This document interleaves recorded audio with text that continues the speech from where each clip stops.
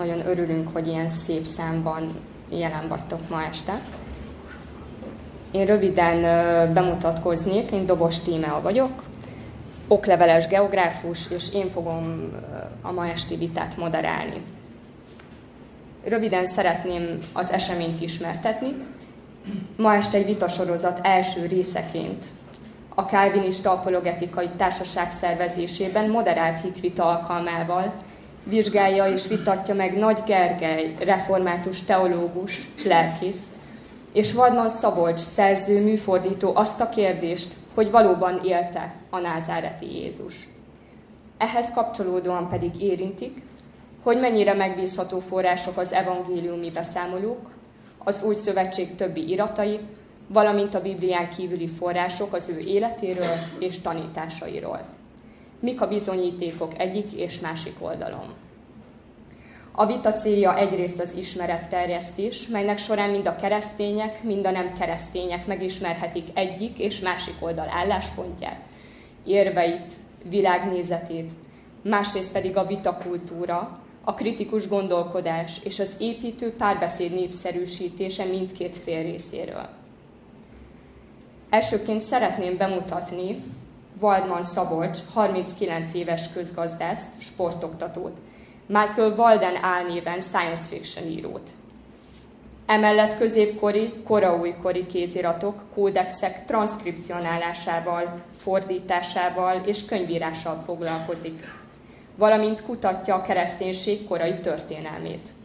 Olyan fordítások fűződnek a nevéhez, mint Tamás evangéliuma, Jézus Krisztus bölcsessége, a Nag Hammadi Kódex 3, Júdás evangéliuma, vagy éppen a Mária Magdolna evangéliuma.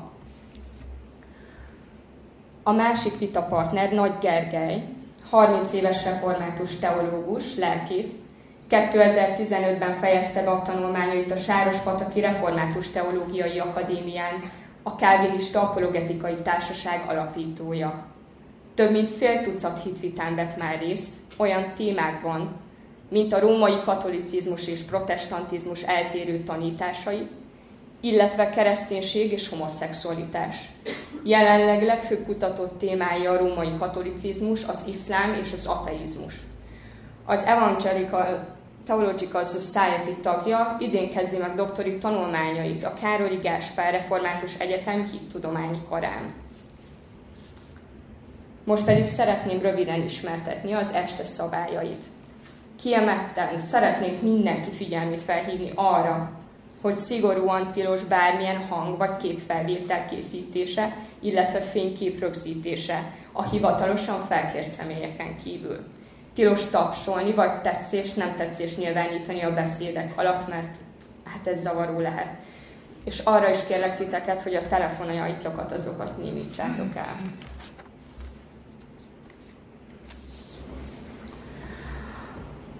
A vitaest menetéről röviden a nyitó beszédekkel fogunk kezdeni, amelyek kétszer 30 percet fognak igénybe venni, majd ezt követően ezekre való reflexiók következnek 7-7 percben.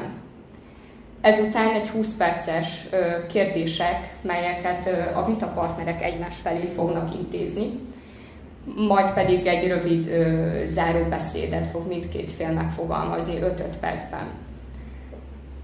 A záróbeszédek után lesz lehetősége a közönségnek kérdéseket feltenni.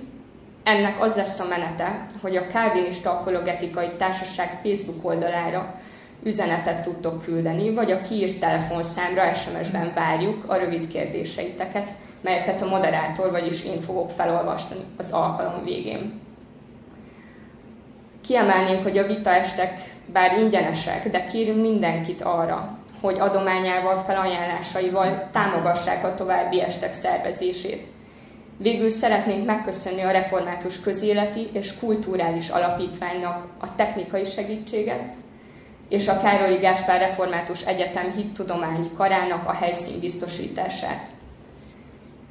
És most pedig elsőképpen szeretném megkérni Valdman Szabolcsot, hogy tartsa meg nyitó beszédét.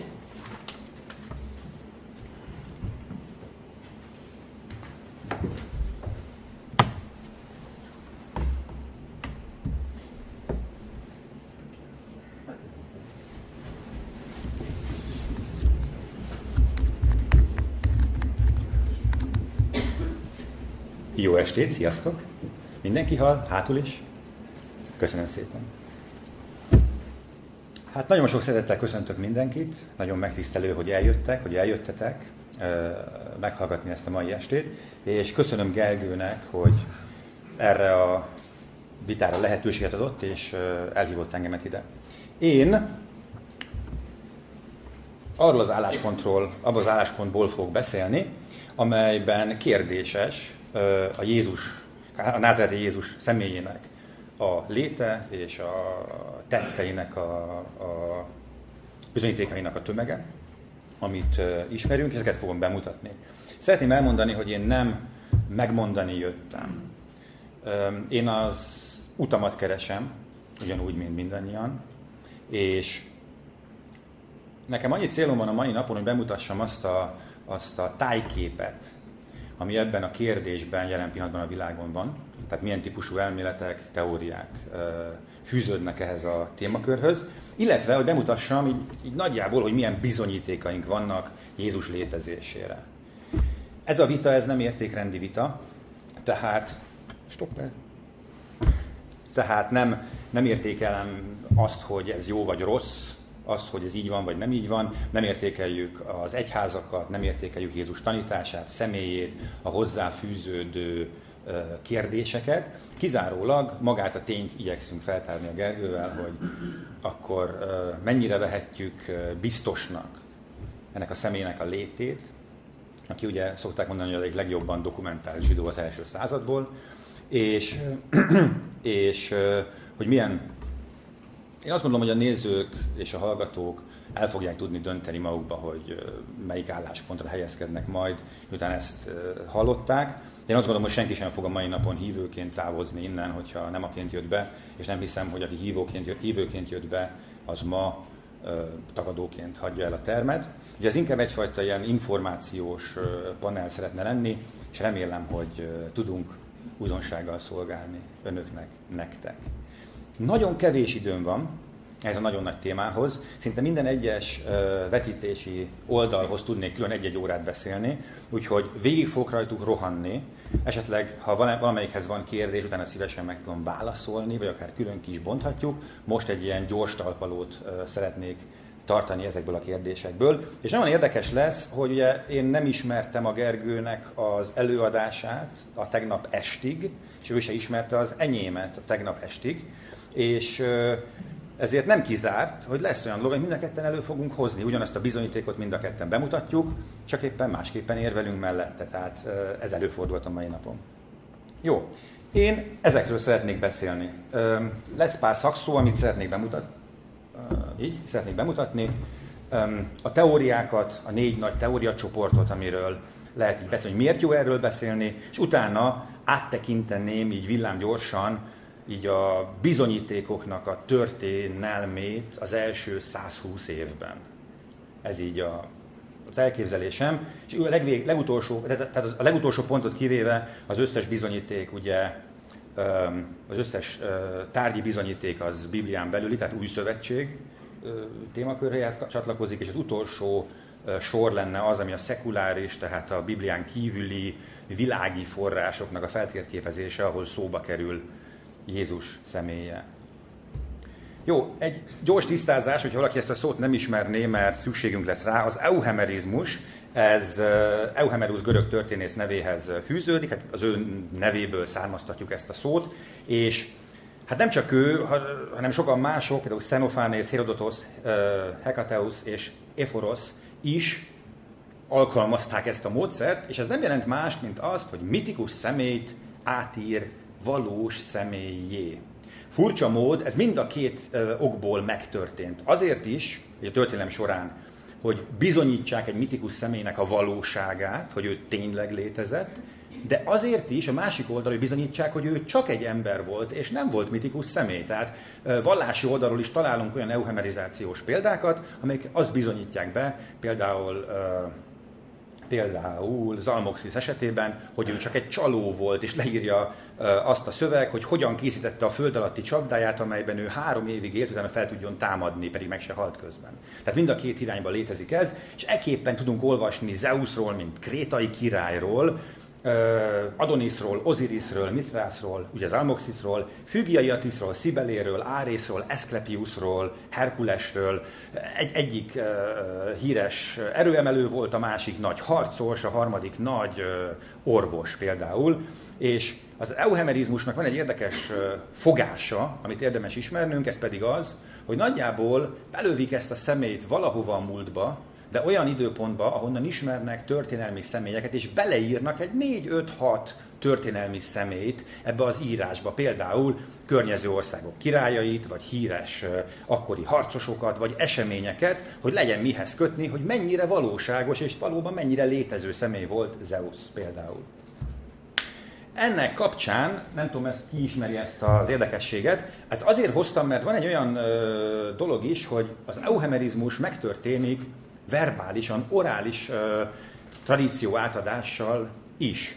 És erre hoztam egy példát, a kargó kultuszokat, és erre azért lesz szükségünk, mert bizonyítékunk van arra, hogy az euhemerizmus verbálisan, orálisan 20 év alatt, 20 pár év alatt meg tud történni. Itt arról van szó, hogy a második világháborúban, Polinéziában három teljesen különálló kultusz alakult ki, három személy körül, akiből kettő nyilván nem létezik, ez Tom Navy és John Frum, illetve Prince Philip. Ez a három szent személy, hogy eleget imádkoznak hozzá, és megfelelően élnek ezek a benszülöttek, akkor kargót hoznak nekik az égből, és ezek, a, ezek az ottani emberek, ezek emiatt ebben a vallásban, ebben a kargó kultuszban építenek leszállópályákat, meg ilyen, ilyen őrtornyokat, meg puskákat faragnak, és fel alá járkálnak vele, és ők így imádkoznak. Ezek nagyon érdekes, mert Tom Navy és John Frum kultusza a mai napig létezik. Na most, amiért ez érdekes az az, hogy amikor ez kialakult, voltak ott kutatók, akik ezzel foglalkoztak, és ezt lejegyezték. És alig 20, azt hiszem 26 évvel később újra érkeztek ezekhez a kultuszokhoz kutatók, és azt vették észre, hogy míg a legelején, amikor ez kialakulóban volt, akkoriban a ezek a kultuszok, ezek kinyilatkoztatással ö, születtek, ezt bárki megkaphatta. Bárki fölkedett úgy reggel, hogy ah, nekem volt egy kinyilatkoztatásom, láttam éjjel Tom Névit, és ezt üzente nektek. Ezt bárki megtehette, egy ilyen egyenrangúként voltak benne. 20 pár, és szigorúan mitikus személyek voltak. Senki nem gondolta, hogy ők jártak a Földön, mint személyek, ők ilyen égi, arkangyal-szerű gépmadarakban repülő égi szentek. 26 évvel később ezek az égi szentek ezek megváltoznak. Már nincsenek kinyilatkoztatások, kizárólag papok, akiket atyának neveznek ott, kaphatják ezeket meg, és mindenki más csak hallgatja ezeket, a, ezeket az elbeszéléseket őtőlük, és eddigre komplett történet alakul ki, hogy ezek a személyek hogy jöttek el, mit mondtak, milyen csodákat műveltek, hol szálltak partra, melyik fánál pihentek meg, és ez elég volt 20 pár év, hogy gyakorlatilag eskü alatt állítja, állítják azt, hogy ezek a személyek létező, csodaművelő, húsvér emberek voltak. Jó, tehát orális euhemerizmus. Jézus ö, létezésére, életére négy nagy teóriacsoportot lehet így fölvázolni. A vallásos történetiséget, a triumfant vagy győztes történetiséget, a minimális történetiséget és a mitikus teóriát, ahol a vallásos, az azt jelenti, a vallásos történelmiség, hogy ez az a teória, ami szerint minden úgy történt, ahogy le van írva, vagy nagyon hasonlóan. Tehát Jézus, mint személy létezett, a csodákat ő végrehajtotta, illetve a tettei úgy történtek, arra felé járt, és azok történtek vele, amik le vannak írva a az evangéliumokban és a Új Testamentum más részeiben, a triumfant történelmiség az egy ilyen, az, az, az, az amit itt tanítanak. Az, az, amit azt gondolom, hogy így a, a, a mainstream médiából ismert, az, az, az iskolából ismert elmélet, vagy hát pontosabban teória, ami arról szól, hogy létező személy volt, nagyjából úgy történt minden, ahogy le van írva, a csodákról meg nem beszélünk, mert nincs helye a történelem órán. Tehát, hogyha egy történész, egy, egy, egy történelem tanárt kérdez az ember, nagyjából ezt fogja elmondani, hogy hogy tanár úr voltak-e csodák, hát kérdezd meg a papodat, nekem ehhez nincs közöm, de hogy itt feszítették meg, és Pilátus alatt. Ezt így elmondja. Ezt a teóriát, ami úgy tudnék összefoglalni, úgy tudnék összefoglalni hogy létező személy, létező események, és a mitoszokról meg nem beszélünk, vagy a mitikus eseményekről meg nem beszélünk, mert nem tartozik ránk. Ez a triumfant történetiség, ez így a mainstream elfogadott álláspont jelenleg. A negyedik, és az ötödik, harmadik és negyedik között nincs olyan nagyon sok különbség. A minimalista történetiség az nem azonos, ezt előre szeretném mondani, mert ugye az apologetikában létezik egy ilyen, kifo, egy ilyen fogalom, hogy történelmi minimalizmus, mik azok a minimálisan történelmi tények, tények, amiket el lehet fogadni, hogy megtörténtek, hogy A föltámadt, vagy A üres volt a sír, stb. Ez nem azonos magával a teóriával. A minimalista történetiség azt jelenti, hogy a személy létezett, de gyakorlatilag nem tudunk róla semmit. Tehát minden, ami utána rárakódott, történetek, varázslatok, csodák és mitikus események, az mind, mind utólagos euhemerizáció vagy, vagy miszticizálás, de maga a személy valamilyen formában biztos léteznie kellett, mert azért pár bizonyítékunk van rá. Legfeljebb annyit lehet róla tudni, hogy igen, meg, megfeszítették. Ezt így nagyjából a minimalista teória is el tudja fogadni. És végül a mitikus történetiség, amiket be fogok leginkább a mai napon mutatni, az azt állítja, hogy a személy is csak mitosz. Tehát nem létezett a személy, nem léteztek a cselekedetei, nem léteztek a csodái. Az egész történet úgy, ahogy van, egyfajta mitoszként szerepel. Az utóbbi kettő között a különbség gyakorlatilag Pálapostól, néhány értelmezése, néhány sorának az értelmezése, és azt gondolom, hogy valójában sajnos a vallásnak bármelyik, az utóbbi kettőből bármelyik bizonyosodna be, mind a kettő nagyon rosszul jön. Mert egy minimalista Jézus, akiről annyit tudunk csak, hogy mi a neve hogy keresztre feszítették, az nem az a Jézus, akivel mi felnőttünk. Az nem az a Jézus, akiről szólnak az evangéliumok, akiről szólnak a szentség, akihez imádkozunk. Ez egy ismeretlen személy, csak a nevét tudjuk. Egy ilyen minimalizmus az legfeljebb egy ilyen, egy ilyen pótlék lehet valakinek, hogy hát, na jó, egy fene. Nem, enne, annyira képtelenség elfogadni azt, hogy nem létezett, hogy akkor elfogadom azt, hogy valaki létezett. Utolsó kettő között azt gondolom még egyszer, nagyon kicsi különbség fedezhető fel. Jó, a felső sort fogom mindig kiegészíteni, ez egy ilyen történeti csík, időszámításunk előtt 300-tól mondjuk 120-ig tart, és erre szeretnék így föltenni néhány dolgot.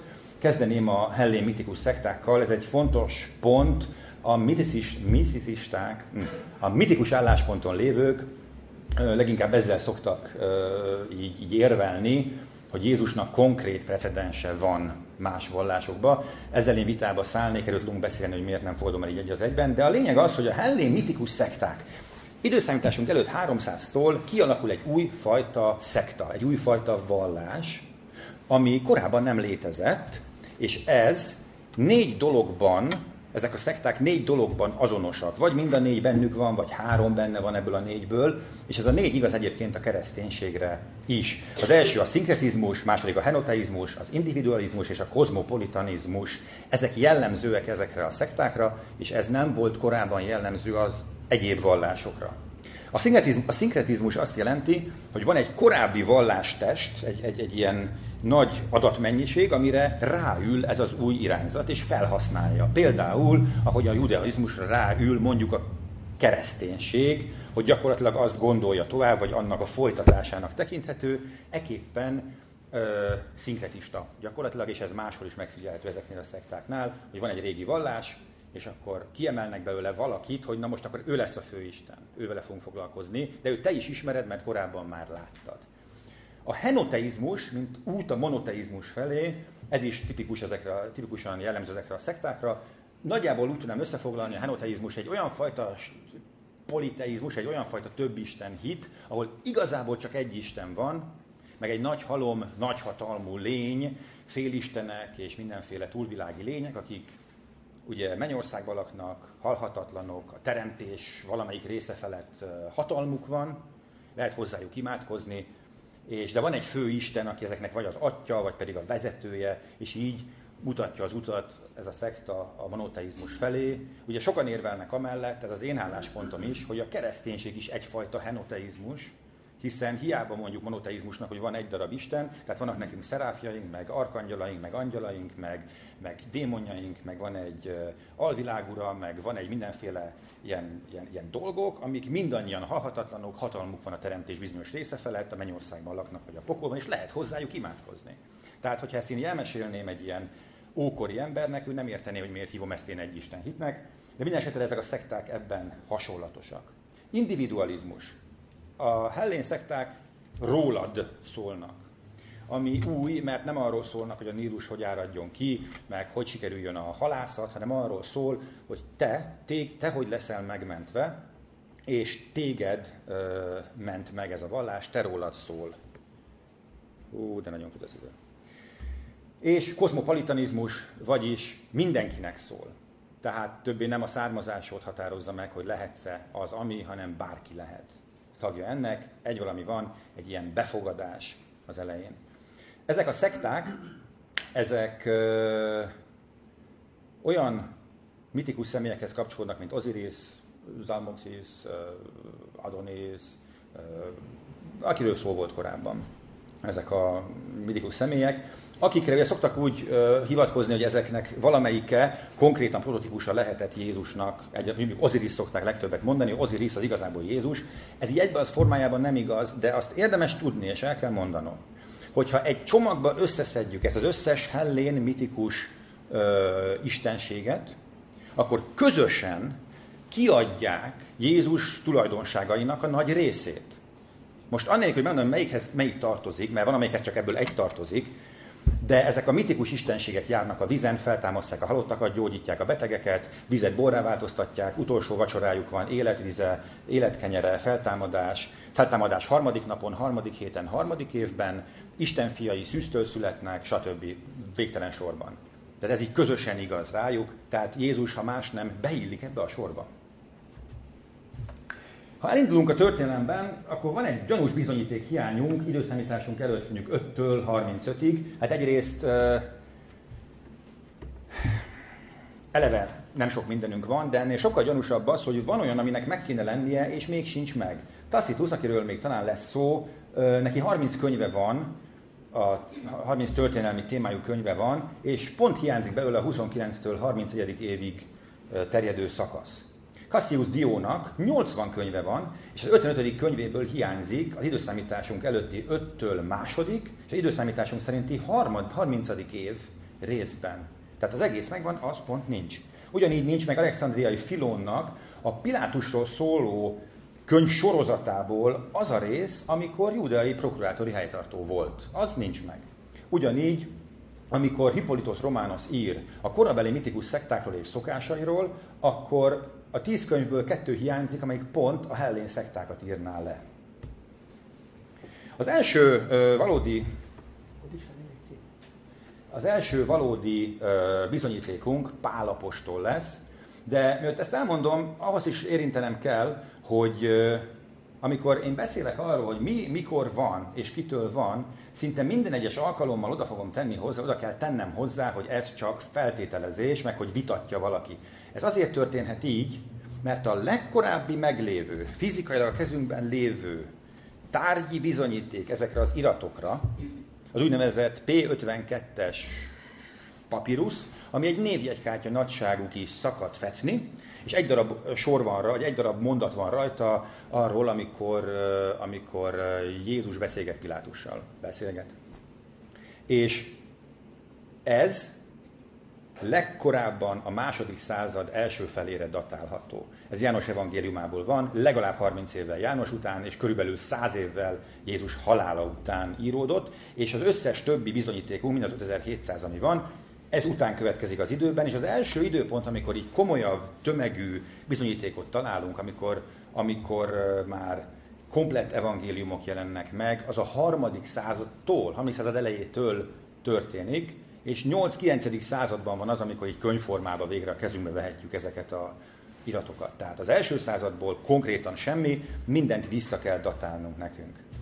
Pálapostolnak hét eredetinek mondott, leve, eredetinek mondott levele van, van neki kettő vitatott levele, hát inkább úgy mondanám, hogy a hét eredetinek mondott, azt szinte senki nem vitatja, hogy eredeti lenne. Kettő van, amivel nagyon komolyan vitába száll mind a két oldal. Van négy, ami nem elfogadott, hát olyan szinten nem elfogadott, hogy még a Wikipédia is így írja, tehát azért azt minden két oldal szokta szerkeszteni, és még ott is úgy van, hogy egyszer nem fogadják el. És van hét apokrif iratunk, ami, ami, ami gyakorlatilag uh, Biblián kívüli, és itt van, van sorolva az a hét, amit eredetinek fogadnak el, ez 27 ezer szó, és ebben öt darab referencia van összesen Jézusra, mint földi személyre.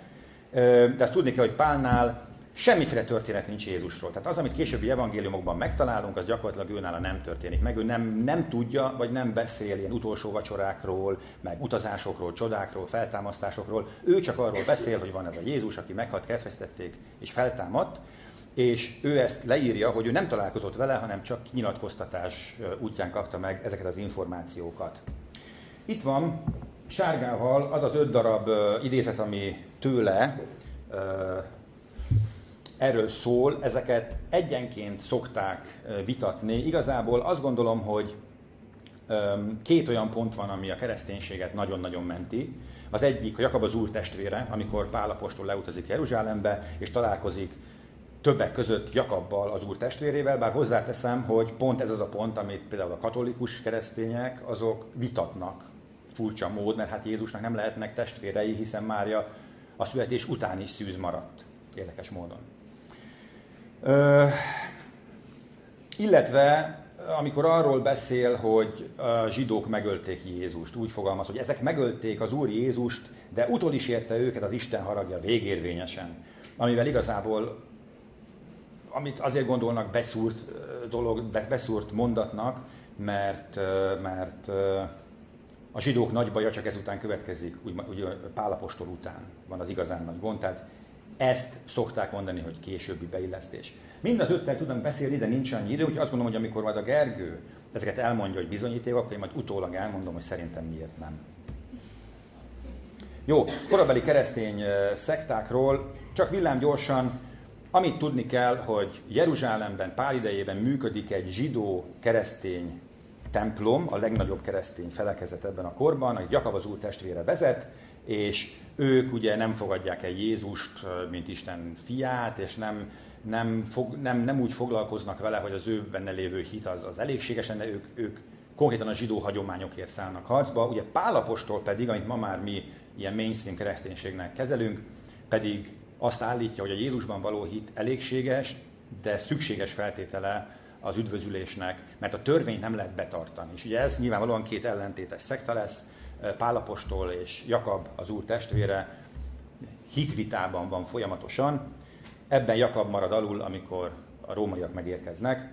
De ebben a korban eredeztethető a doketisták és a kataroknak a, a szektája, akik nem fogadják el Jézust, mint embert, mint húsban születettet, hanem valamilyen ilyen, ilyen, ilyen mirázsnak, ilyen képnek tekintik, illetve a gnosztikusok, Ebből a korból nincsenek gnosztikus iratok, de ide eredeztethető vissza, akik egy ilyen önmegváltó Krisztusról beszélnek, egy nagyon bonyolult, nagyon érdekes rendszerben egyébként, ez így az első század végétől inkább.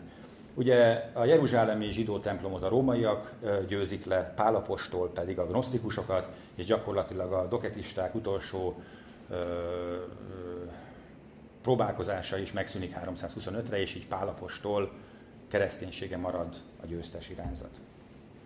Jó, te a Jeruzsálemi templom bukása 70-ben. Ez a legfontosabb dátum, azt gondolom, az egész beszédben, amit én tartok, mert 70-ben az történik, hogy a rómaiak, erről már beszéltünk külön, miért és hogyan, de öt hónapnyi ostrom után elfoglalják Jeruzsálemet, és véletlenül, ami szintén egy szép történet, lerombolják a templomot.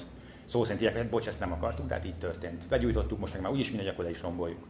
És ez egy nagyon nagy probléma a zsidóságnak, ezt a mai napig egy legnagyobb csapásuknak gondolják, ugyanis ekkor szűnik meg az ő kapcsolatuk konkrétan az Istennel, mert az ő templomuk nem csak egy épület volt, hanem a konkrét kapu Istenhez, és csak ott lehetett bemutatni áldozatot, és minden évben kellett áldozatot bemutatni, hogy annak az évnek a bűneit elvigye. És amikor ezt lerombolják, az gyakorlatilag egy ilyen máig tartó sok hatás, hogy Isten miért fordult el a zsidóktól, és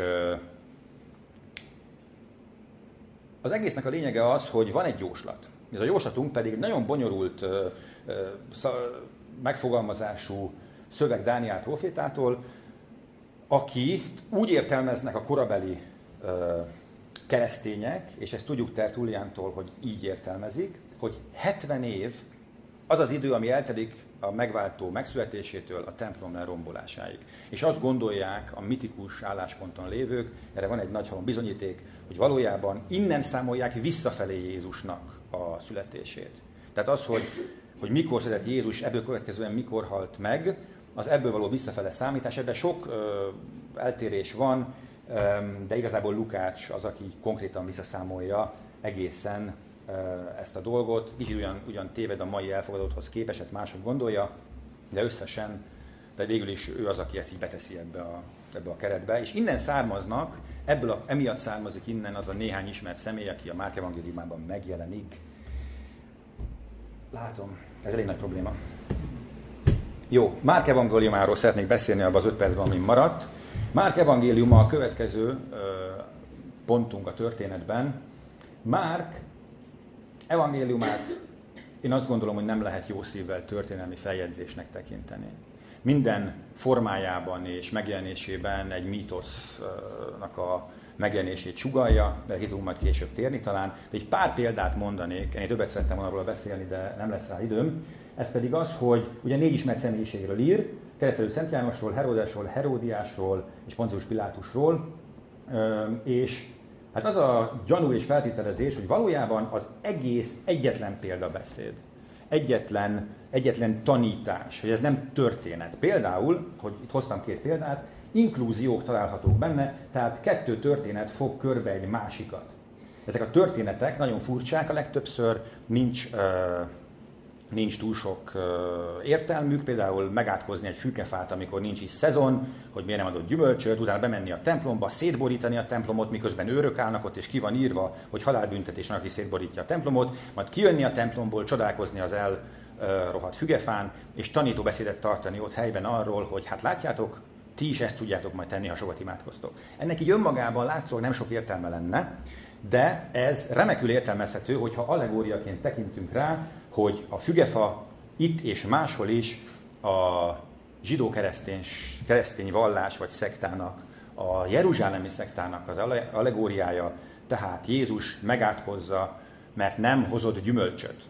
Nem volt jó, nem hozott gyümölcs. Utána bemegy, szétborítja a templomot, amit lerombolnak, aztán kijön és csodálkozik, hát igen, ennyi volt. Eznek vége. A jeruzsálemi templom elbukott, látjátok, a helyes út az, amit rajtam keresztül vezet. Egy másik ilyen inklúzió, amikor ugye partra száll, találkozik a 12 éves, találkozik a 12 éves lány apjával, aki haldoklik, nem az apja, hanem a lánya, és akkor hirtelen energiavesztést vesz észre, körbenéz, hogy kivett az energiámból, és előjön egy asszony, hogy 12 évig véreztem, de most már nem vérzek, meggyógyítottál, majd újra jönnek, hogy a 12 éves lány pedig meghalt időközben. És ez egy nagyon remekül érthető allegória, arra, hogy a régi Izrael és az új Izrael találkozása, a régi 12 és az új 12 ö, csoport. Ö, csoport. Ö, az. Jó. Sehol sem mondja, hogy fizikailag megtörtént, és gyakorlatilag Márknál az összes esemény gyakorlatilag ilyen. Van még egy ilyen ö, példám belőle, hogy komplex struktúrák találhatók benne, ha az ember jól megfigyeli. Például ilyen körökben. Első kör. Jézus tömeggel van a tengerparton, ez mindig nappal történik. Átkelés, amiben események történnek, vizen kell át, ugye? Ez mindig este történik. Másnap megérkezik, tömeg fogadja, gyógyít és ördögöt tűz. Aztán jön egy ilyen közbelső beszúrás, az első megállás, második megállás és séta, ez mindig így néz ki. Az első megállás mindig házban történik, nőkkel, gyerekekkel, a második megállásban talál, a tanítványok vannak ott és a hatóság, és utána invertálja ezt a dolgot, hogy a család a hitetlen, az idegenek pedig hisznek. Utána újra tömeggel tengerpart, átkelés, megérkezés, gyógyítás, ördögűzés, aztán házban nőkkel, gyerekeket, tanítványok és hatóság, invertálás, hitetlen, idegenek hisznek, aztán újra Jézus tömeggel tengerparton, átkelés eseményekkel, megérkezés, folyamatosan kör, körkörös érveléssel mesélése, meséléssel. Ez nem nagyon valószínű, hogy ez így egy történelmi dokumentumnak mondható. Jó. no. Jó. átnézem, hogy miről fogok beszélni, még akkor utolsó egy percben. Utolsó percem, vannak nekünk még ugye evangéliumaink, ennek az összetétele, hogy az evangéliumok hogyan csatlakoznak egymáshoz, erről szerintem a, fog beszélni nekünk a Gergő, és ezzel majd akkor csatlakozok ehhez hozzá, és összességében ezt utolsó diát nézzük meg, hogy a szekuláris források itt a legvégén, Josephus Flavius, Plinius, Tacitus, Suetonius és Talus és Flegon, akik ugye nem mint, mint valódi bizonyítékok jelennek meg, ezek már mind a század végén, tehát legalább 70 évvel az, megtört, az esemény után történnek meg. Jó? Igen, köszönöm szépen. Innen folytatjuk.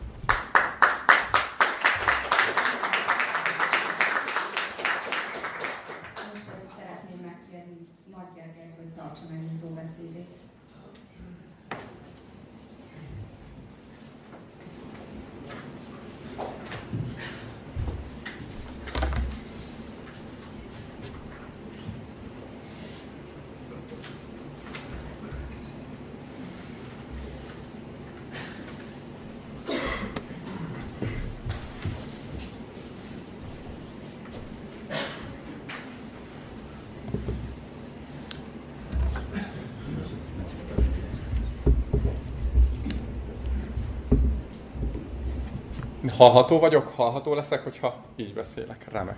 Jó.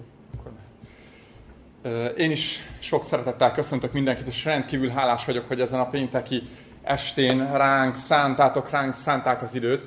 Ugye előjáróban szeretnék valakit bemutatni, mielőtt bármit is mondanék, egy, egy olyan szemét, aki rendkívül fontos lesz a ma esti vitánk szempontjából, és 2000 évvel ezelőtt élt. Nagyon röviden néhány dolgot róla. Mielőtt megszületett volna, ez a személy már tudták, hogy különleges lesz. Ő egy természetfeletti lény tájékoztatta az ő anyját, hogy a gyermek, amely a méhében fogant, az nem emberi, hanem isteni, eredetű isteni lény. Csodálatos módon született és szokatlanul kora érett gyermek volt, bölcsebb volt társainál. Felnőttként elhagyta az otthonát, tanító lett, vándorprédikátor, és tanítvány, tanítványokat gyűjtött maga köré.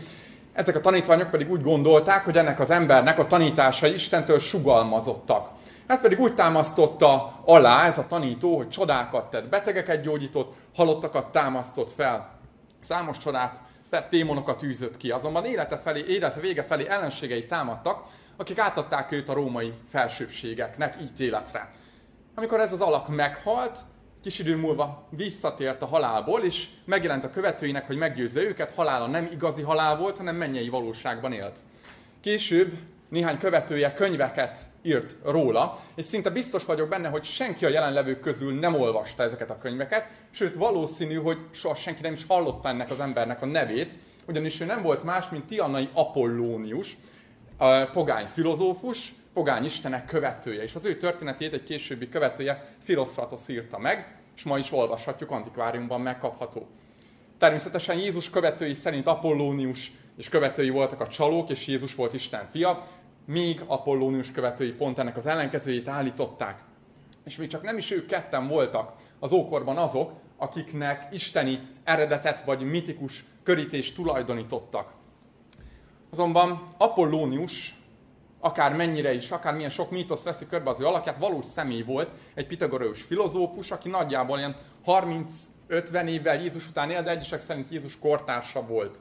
És én személy szerint nem hiszem, hogy az anyja Istentől fogant volna, azt sem hiszem, hogy csodákat tett, hogy támasztott volna fel, azonban létezett.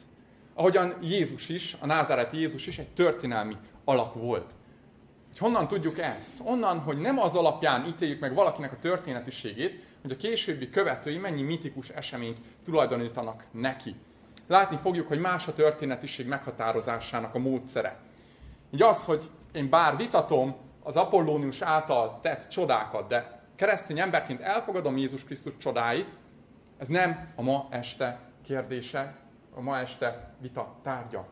Miről nem szól még a ma este? Nem fogunk és nem kell arról beszélnünk, hogy feltámadta Jézus, hogy az volt-e, akinek mondta magát, ugyanis ezek a személyét érintik, nem pedig ö, nem befolyásolják azt, hogy létezette vagy sem. Aztán nem szólhat a ma este arról, hogy tévedhetetlen-e a Biblia. Bár én evangelikál református emberként Hiszek a Biblia tévedhetetlenségében úgy, ahogyan azt a Chicagói nyilatkozat írói megfogalmazták, De ahhoz, hogy elfogadjuk egyes történelmi elemek igazság tartalmát a Bibliában, nem kell, hogy az egészet tévedhetetlennek tartsuk. Végül pedig nem számít a ma este kérdése szempontjából egyik Jézusra tett Biblián kívüli utalás sem, amiket Szabolcs előadásának a végén láthattunk.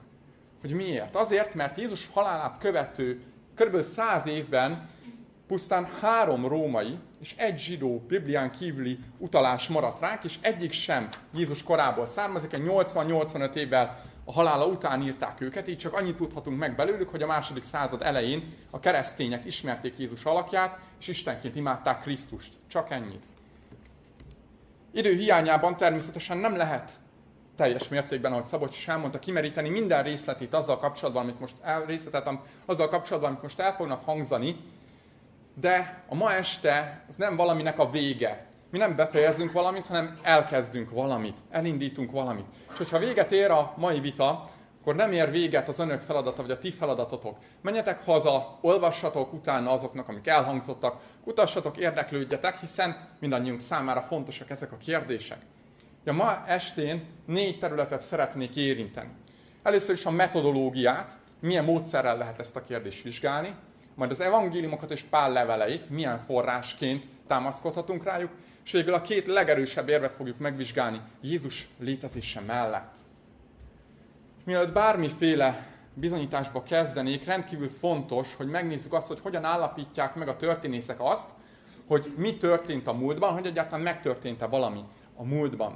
Ugye a történelmmel kapcsolatban nincs meg az a lehetőségük, hogy visszamenjünk az időben, és megfigyeljünk, vagy megismételjünk egy adott történelmi eseményt, nem úgy, mint például ugye a fizikai kísérletek, ahol az, ugyanazon kísérletet többször el lehet végezni, és így az eredményeket lehet értékelni. Akkor hogyan tudjuk azt, hogy valami történeti szempontból, történelmi szempontból bizonyítottunk? De technikailag a történelem egyetlen egy dolgot sem tud, a történelem tudomány nem tud bebizonyítani, semmit sem. Egyetlen dolgot tudunk tenni, felhalmozunk bizonyítékokat, közönség elé tárjuk, és reménykedünk abban, hogy minél több embert meggyőzünk ezekkel a bizonyítékokkal. Például Szent István valóban élt, vagy Julius Cézár átkelt a Rubikonon. Azonban milyen bizonyíték, milyen típusú bizonyítékokkal lehet dolgoznunk? Ugye a történészek több különböző típusú bizonyítékokra alapozhatnak, lehetnek filmfelvételek, fényképek, régészeti leletek, közvetlen vagy közvetett írott források, például amiket a személy írt, vagy amik a személyről szólnak, akár könyvek, akár levelek, bármi más.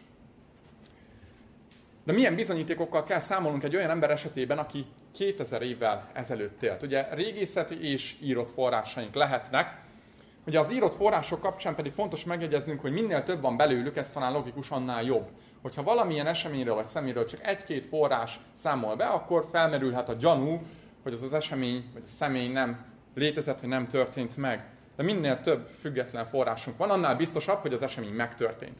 Aztán fontos, hogy ezek a források minél közelebb legyenek az adott személy életéhez, vagy az esemény megtörténtéhez, ugyanis ismerjük az emberi emlékezetet, nagyon gyorsan meg tud kopni, nagyon gyorsan rétegek tudnak rárakódni egyes történésekre. És ezen írott források szempontjából fontos az, hogy ugye minél több legyen belőlük, és minél szélesebb körűek legyenek, Továbbá fontos, hogy egybehangzóak legyenek. Mert hogyha van egy olyan forrásunk, ami azt állítja, hogy Octavianus egy római hadvezér volt, aki később császár lett, majd egy másik forrásunk, ami azt állítja, hogy egy észak-afrikai paraszt volt, és soha nem hagyta el a lakóhelyét, akkor ott valami baj van. Vagy a forrással, vagy Octavianusszal. És végül a harmadik szempont, ami fontos, hogy ezek a különböző források független, függetlenek legyenek egymástól, ne hagyatkozzanak egymásra minden tekintetben.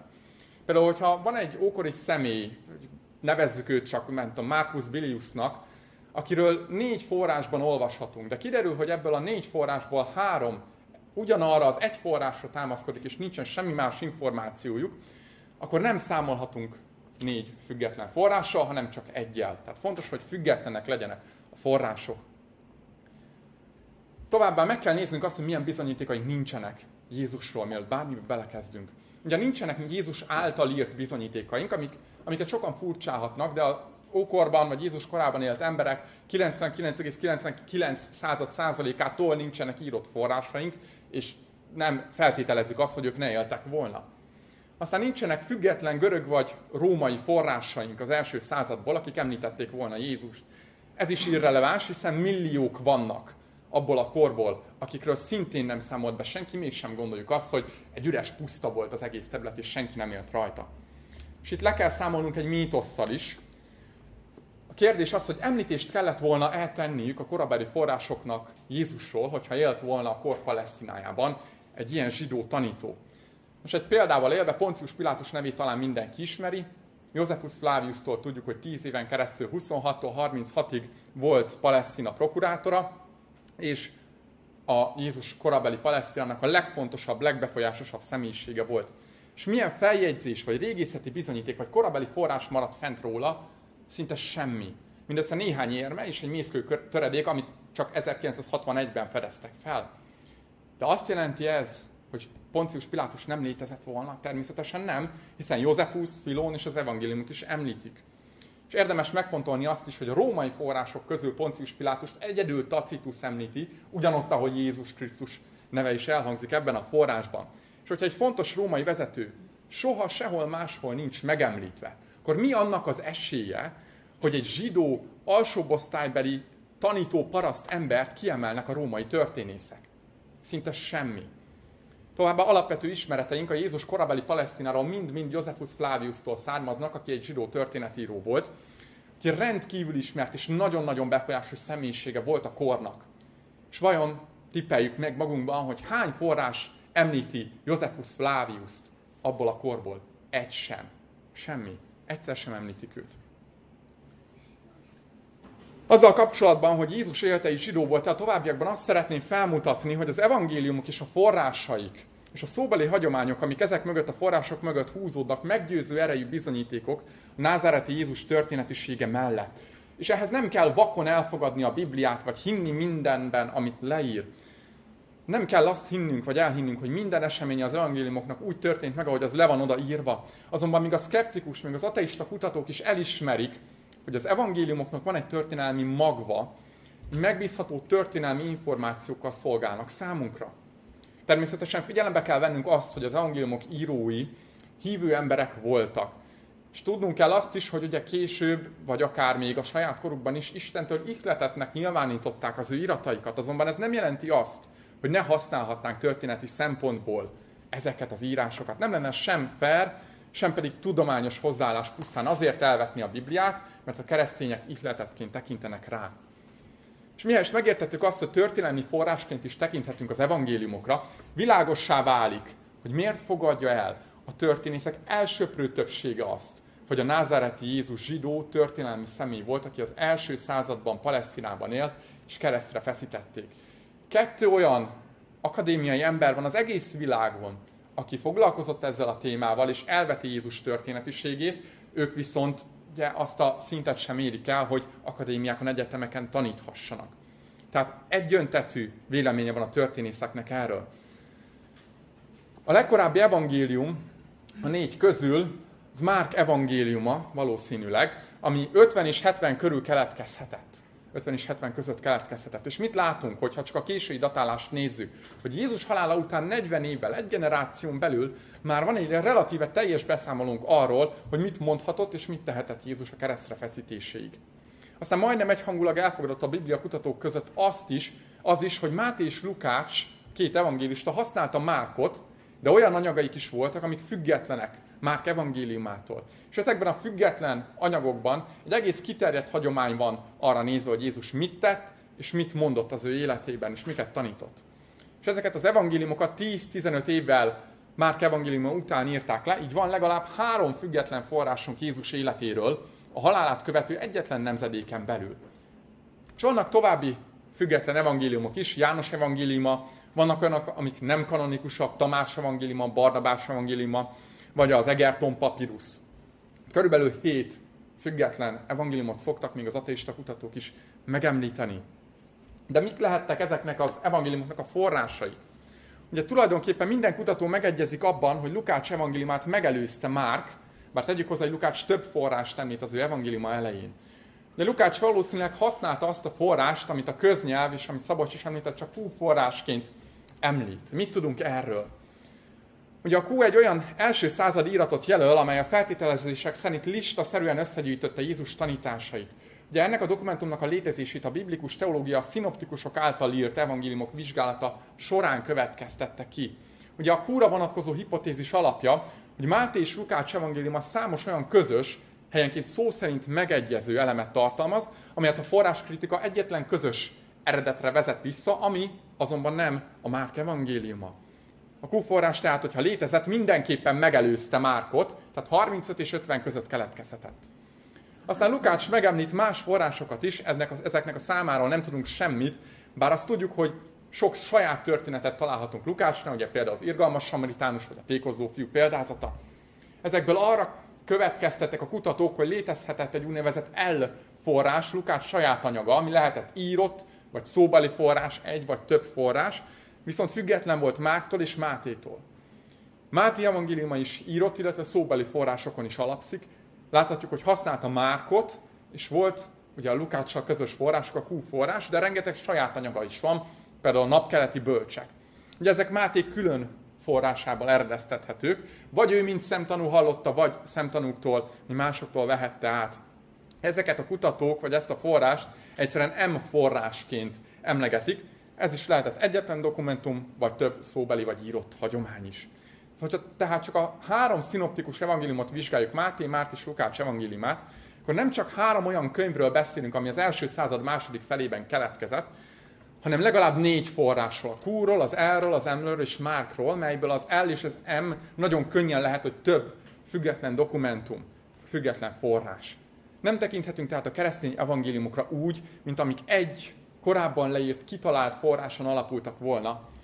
És a nézet, mi szerint a zsidó Jézus létezett, több független forráson alapul, amelyek egymástól függetlenül keringtek a kor római birodalmában évekkel, évtizedekkel az evangéliumok keretkezése előtt. Hol van tehát az az első vagy egyetlen forrás, amely feltalálta a názáreti Jézust? Azonban Pálapostól levele és nem az evangéliumok a legkorábban fennmaradt tanúk e tekintetben. Sokan általában azt hiszik, hogy az evangéliumok a legrégebb íratok, mert azok állnak az új szövetség elején, de nem így van. Pál levelei megelőzik az evangéliumokat. Ugye írásai pedig teljesen egyértelművé teszik azt, hogy úgy gondolta, hogy Jézus egy történelmi, zsidó személy volt. Azonban a kérdés, amit fel kell tennünk, hogy honnan szedte Pál ezeket az információit. Ugye Pál maga ad nekünk néhány ötletet, hogy a Galata egyből tudjuk, hogy heves üldözője volt a keresztényeknek, majd később megtért. Három év múlva a megtérése után, ahogy írja, felment Jeruzsálembe, és 15 napot töltött ott Péterrel, Kéfással, Jézus tanítványával és Jakabbal, az Úr testvérével. Pál a legtöbb információit, tehát itt Jeruzsálemben tőlük szerezte. Azonban mikor történt ez? Mivel Pál néha maga helyezi el időrendben az eseményeket, össze tudunk állítani egy idővonalat ezekből. Ugye a legbiztosabb pontból kiindulva azt kell mondanunk, hogy Pál megtérése valamikor 30 és 40 között történt, de az utóbbi dátumot a 2 Korintus 11.32 alapján tudjuk meghatározni, ahol olvasunk egy Aretász királyról, aki 40-ben legkésőbb meghalt, és ő őrizetbe vetette Pált. De amikor a kutatók, hozzáteszem, nem csak a keresztény kutatók, Pál életét rekonstruálják, minden adatot figyelembe véve arra jutnak, hogy megtérése két-három évvel Jézus halála után történt, így a Jeruzsálembe való felmenetele körülbelül a negyedik évtized közepén, így már 35-ben léteztek olyan hagyományok, amiket Pál átvett az első keresztényektől.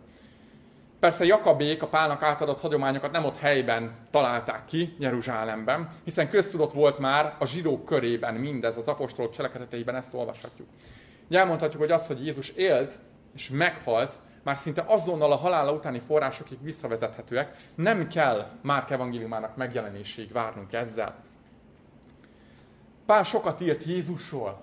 Ugye feltételezte azt, illetve tudta azt, hangsúlyozta azt, hogy Dávid király egyik leszármazottja, volt egy 12-es tanítványi köre, tanító volt, sőt, rengeteget idéz a tanításaiból, még ő pedig Pál viszonylag sokat hangsúlyozza, hogy Jézus keresztre feszítették. Az 1 Korintus 15.3.4-ben azt láthatjuk, hogy Jézus halála Pál üzenetének központi témája. Ezt írja. Mert én elsősorban azt adtam át nektek, amit én magam is kaptam. Hogy Krisztus meghalt a mi bűneinkért az írások szerint, eltemették és feltámadt a harmadik napon az írások szerint. Jézus tehát nem csak keresztre lett feszítve Pál szerint, nem el is lett temetve, tehát ténylegesen halott volt. Ugye Pállal kapcsolatban felmerül a gyakran hangoztatott kérdés, amit Szabostól is hallhatunk, hogy miért nem idézi Krisztus gyakrabban. Hiszen három tanítását találjuk meg Jézusnak Pálnál, és ezeket az életével kapcsolatos kijelentéseket olvassuk.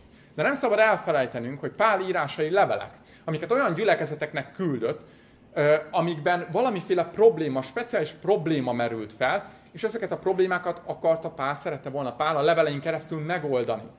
Nem kellett ezeknek a leveleknek minden apró részletet tartalmazni, amit Istenről, Krisztusról, lélekről vagy az egyházról tudott Pál, hiszen problémákat oldott meg bennük. Ráadásul olyan gyülekezeteknek írt, amiket nagyon nagy részben ő maga alapított, és évekig ott volt ezekben a gyülekezetekben.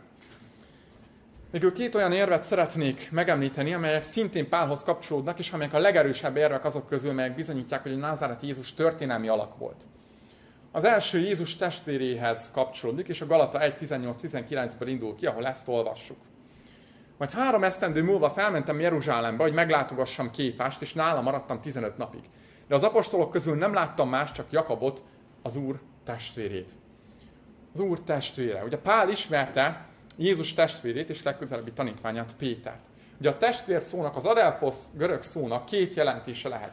Az egyik vérrokont jelöl, amikor egy anyától születtek a gyermekek, az Ószövetségi görögben jelölhet még unokatestvér, de a koiné görögben vér szerint testvért jelöl, vagy olyan személyeket, akik le, egy lelki közösség tagjai. Például mi keresztények is ezért hívjuk egymást testvéreknek, egy lelki közösség tagjai vagyunk. A kérdés az, hogy melyiket, melyik értelemben használta Pál Jakabra az Úr testvére kifejezést.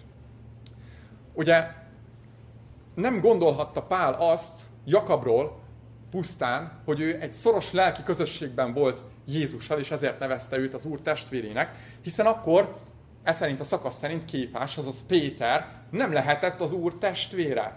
Kizárja ezt. Ugyanezt látjuk az 1 Korintus 9.5-ben, mikor Pál azt írja, nincsen jogunk arra, hogy keresztény feleségünket magunkkal vigyük, mint a többi apostol meg az Úr testvére is Kéfás.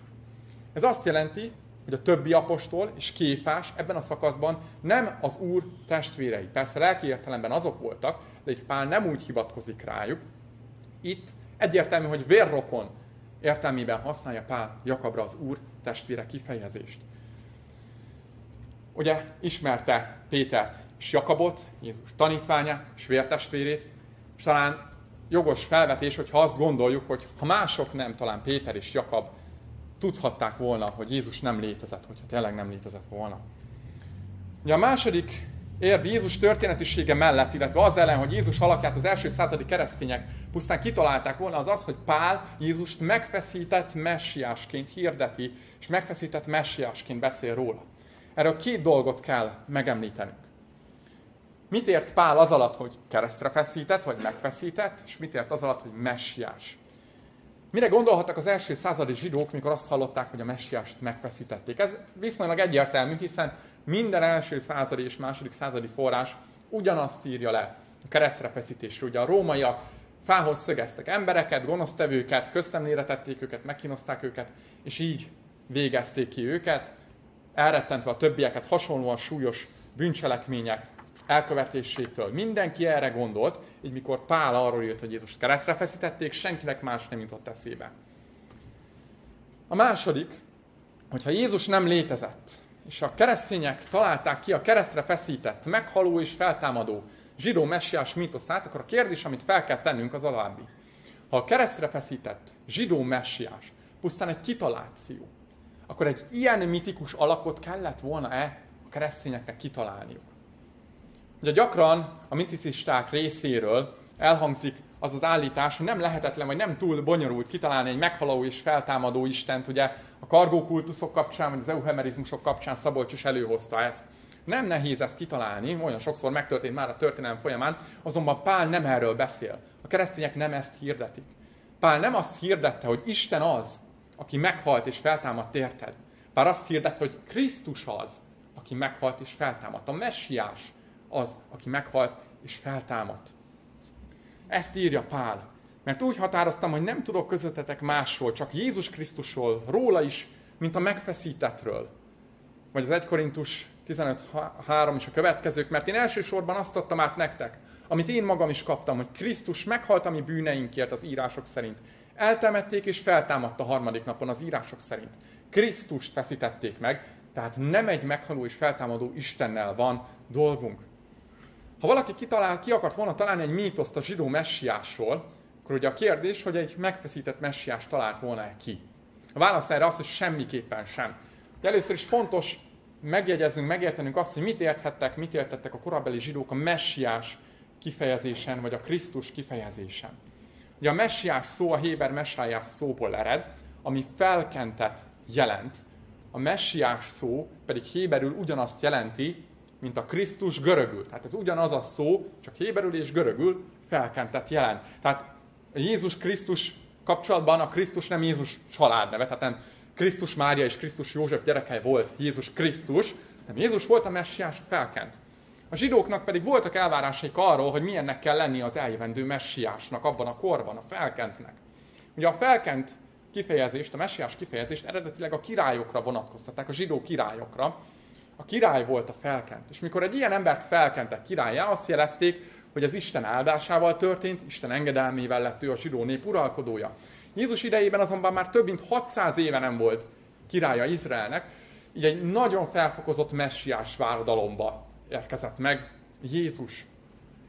Úgy gondolták a korabeli zsidók, hogy az eljövendő messiás egy harcos alak lesz, olyan lesz, mint Dávid király. Ez a harcos majd felszabadítja a zsidó népet a római elnyomás alól, és visszaállítja Isten királyságát, átveszi Izrael trónját, és így Izrael egy független állammá válik, a messiás pedig még az ellenségei fölött is uralkodni fog. Tehát egy győztes messiást vártak abban a korban a zsidók. És ki volt ezzel szemben Jézus? Egy olyan valaki, aki a legsúlyosabb bűnért járó büntetést kapta, akit keresztre feszítettek. Hogyha az első keresztények ki szerettek volna találni egy mítoszt az eljött zsidó messiásról, akkor olyan történetet kellett volna kitalálniuk, mint amit látunk és ismerünk, hogy ezt a messiást legyőzték és keresztre feszítették. Hiszen ez pont ellentéte annak, mint amilyennek egy messiásnak kell lennie a korabeli zsidók szerint. Ha ki szerettek volna találni egy zsidó messiás mítoszt, akkor annak arról kellett volna szólnia, hogy eljött a messiás, kiűzte a rómaiakat, és Jeruzsálem trónjára ült. De miért nem ilyet találtak ki, ha kitaláltak a keresztények? Azért, mert ez nyilvánvalóan nem volt igaz. A korai keresztények tehát, és a mai keresztények sem azt hirdetik, hogy Isten feszítették meg, hanem Krisztust feszítették meg.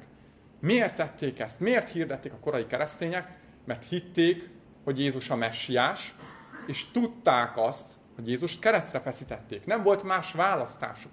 Nincs magyarázat, nincs más magyarázat arra, hogy miért találnának ki egy keresztre feszített zsidó messiást a korai keresztények. Ezért is mondja Pálapostól azt, hogy Jézus keresztre feszítése botránykő, hogy megütközés a zsidók számára. Ezt írja. Mi a megfeszített Krisztust hirdetjük, aki a zsidóknak ugyan megütközés, a pogányoknak pedig bolondság. Ez volt az oka annak, hogy a zsidók jó része nem fogadta el Jézust messiásként. A legtöbben azt gondolták, hogy ez valamiféle őrültség, abszurd, hogy a messiást keresztre feszítik. De miért hirdették akkor ezt a korai keresztények? Azért, mert nem volt más választásuk, mert Jézust keresztre feszítették, és ezt mindenki tudta. Összefoglalva láthatjuk, hogy Jézus az egyik legjobban dokumentált palesztinai zsidó az első századból. Számos forrás beszél róla, nem csak a Biblián belül, a Biblián kívül is, ezek pedig értékes információkkal szolgálnak személyről, még akkor is, hogyha valaki nem fogadja el ezeket teljességükben, nem tartja őket száz százalékban tévedhetetlennek. De az, hogy valaki feltételezi, hogy lehetnek benne tévedések, még nem jelenti azt, hogy a Bibliának semmiféle történelmi magva ne lenne. Ateista, agnosztikus, szkeptikus, újszövetségi teológiával foglalkozó professzorok és kutatók is mind elismerik ezt. Nem kell ehhez hívő embernek lenni. Ugye a források között nem csak egymástól független evangéliumokat találunk, hanem Pál írásait is. Ja, mai estén csak azokra a levelekre alapoztam az érveléseimet, amiket egyöntetően mindenki a kutatók közül Pálnak tulajdonít, és elmondta, mindenki elfogad, legyen az liberális, konzervatív, keresztény vagy nem keresztény. Láthatok, hogy Pál Jézus halála után legkésőbb már két évvel meg volt győződve arról, hogy élt egy Jézus nevű alak, akit keresztre feszítettek, akiről azt hiszi, hitték a követői, hogy ő feltámadt, ugyanis ezért üldözte a keresztényeket, Saulként. Voltak Jézusnak testvérei, és tudhatjuk, hogy Jézus korában nem volt olyan zsidó, aki azt gondolta volna, hogy az eljövendő messiásnak szenvednie kell, és kereszthalált fog halni, sőt épp az ellenkezőit vallották. Ha a keresztények kitalálták volna a Jézus mítoszt, akkor azt a lehető legrosszabb módszerekkel tették. De természetesen nem így történt. Jézus egy történelmi alak volt. A kérdés pedig, amit, ami a ma estét szerintem el fogja dönteni, és amit fel kell tennünk mindenkinek magában is, és majd fel fogok a Szabolcsnak is tenni, miért találtak volna ki egy ilyen alakot a korai keresztények? Mi volt Pálnak vagy Jakabnak a haszna abból, hogy hirdették azt, hogy Jézus eljött a földre, meghalt és feltámadt? Mi volt az ő motivációjuk? És látni fogjuk, hogy semmi. Semmi, ami a világhoz kötötte volna őket. De egy dolgot teljes szívből és hittel hirdettek, hogy Jézus élt, meghalt, és feltámadt a halálból. De fontos, hogy a ma estén csak azt vitatjuk meg, hogy élte, vagy meghalt. Élt, és meghalt-e Jézus. Láthattuk azt, hogy az első keresztények egyöntetően hitték, Jézus ellensége is hitték ezt, és meg vagyok győződve arról, reménység szerint, hogy Szabolcs is el fogja ezt hinni a vita végére. Köszönöm szépen a figyelmet!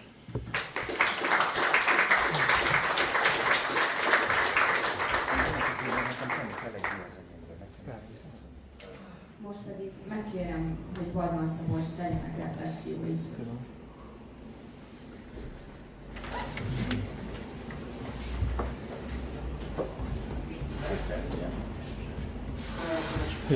Igen.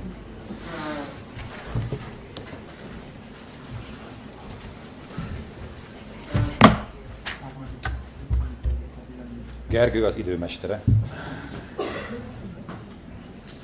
Várjak még?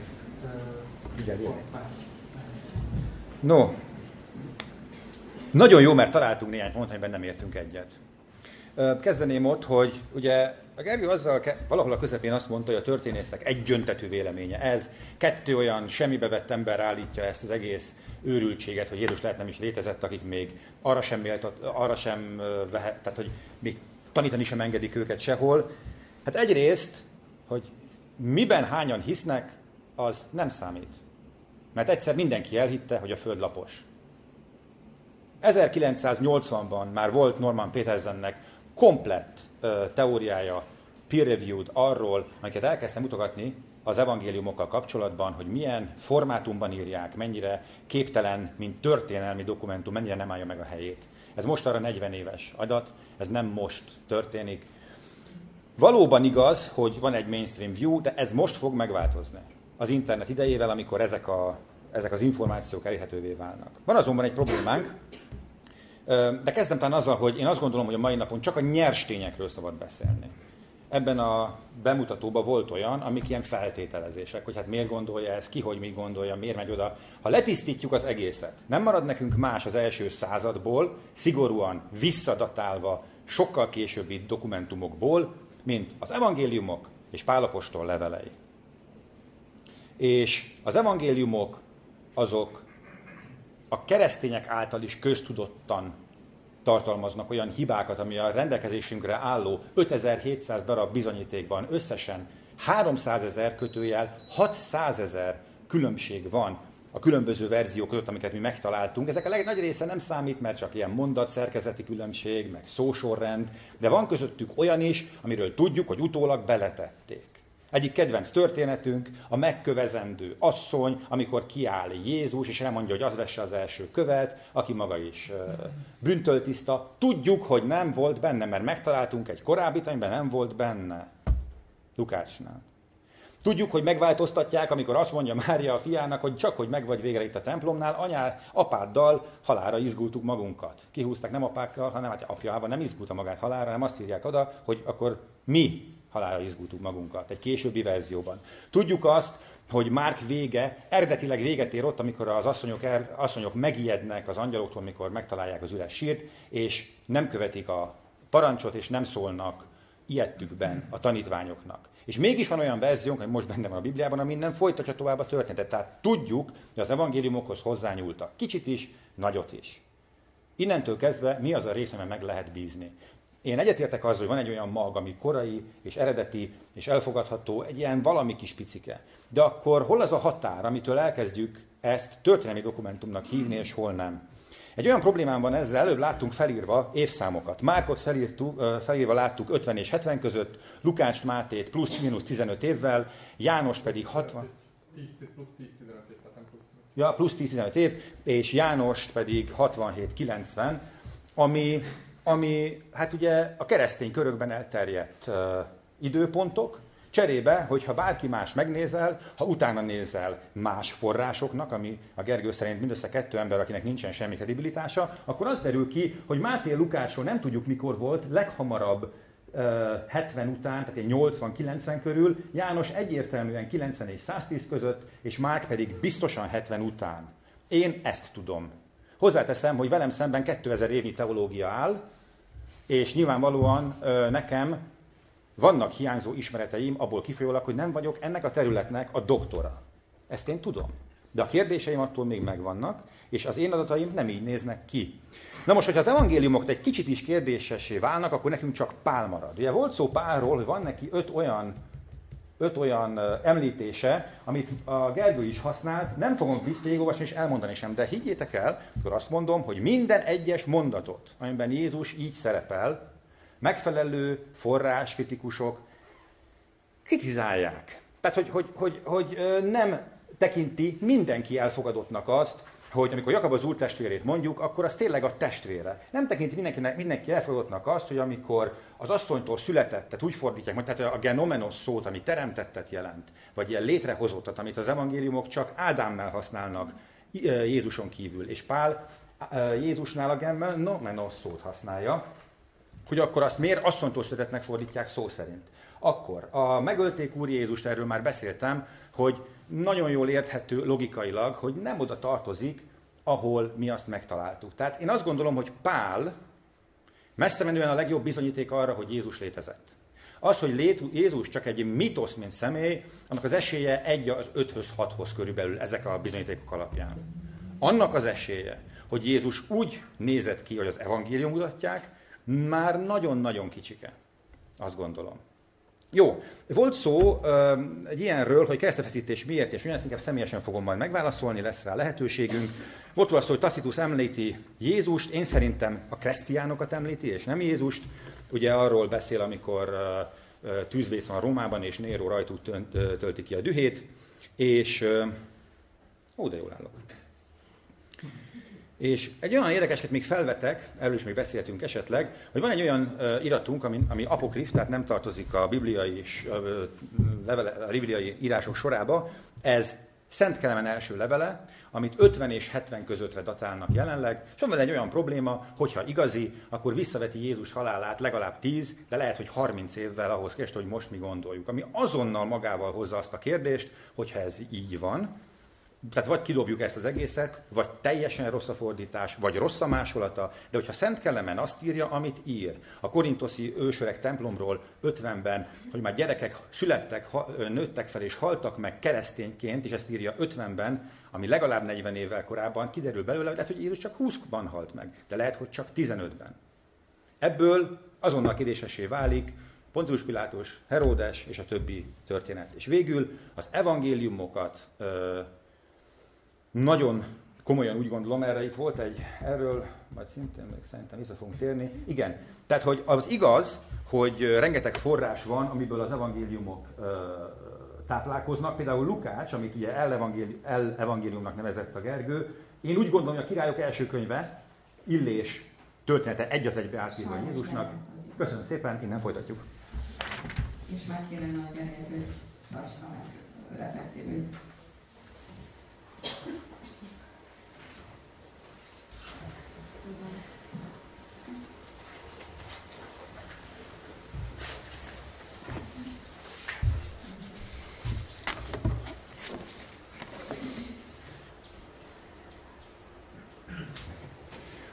Nem is tudom, hogy hol kezdjem. Nagyon remélem, hogy amire nem térek ki, arra majd Szabolcs rá fog kérdezni a, a kérdések alatt, illetve elő fog kerülni, mert nagyon-nagyon sok izgalmas téma van.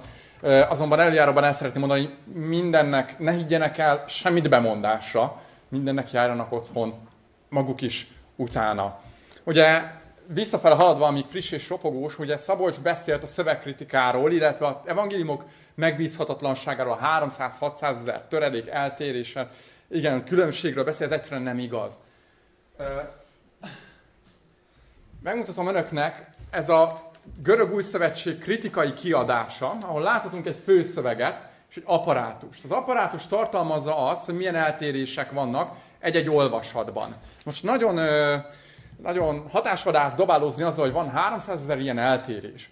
Azonban szinte egyöntetően mindenki elismeri azt, nem csak keresztények, akár az agnosztikus Bárt Érmanra is gondolhatunk, hogy az evangéliumok szövegét, eredeti szövegét 99, kicsit több mint 99%-os biztonsággal rekonstruálni tudták. Tehát ez, hogy ennyi töredék van, ez nem hátrány, hanem előny. Az más kérdés, és lehet arról vitatkozni, hogy ez érinte a maradék 2-3 százalék bármilyen olyan kérdés, ami esetleg ö, a keresztény dogmákkal, a keresztény tanításokkal foglalkozik, egyébként nem.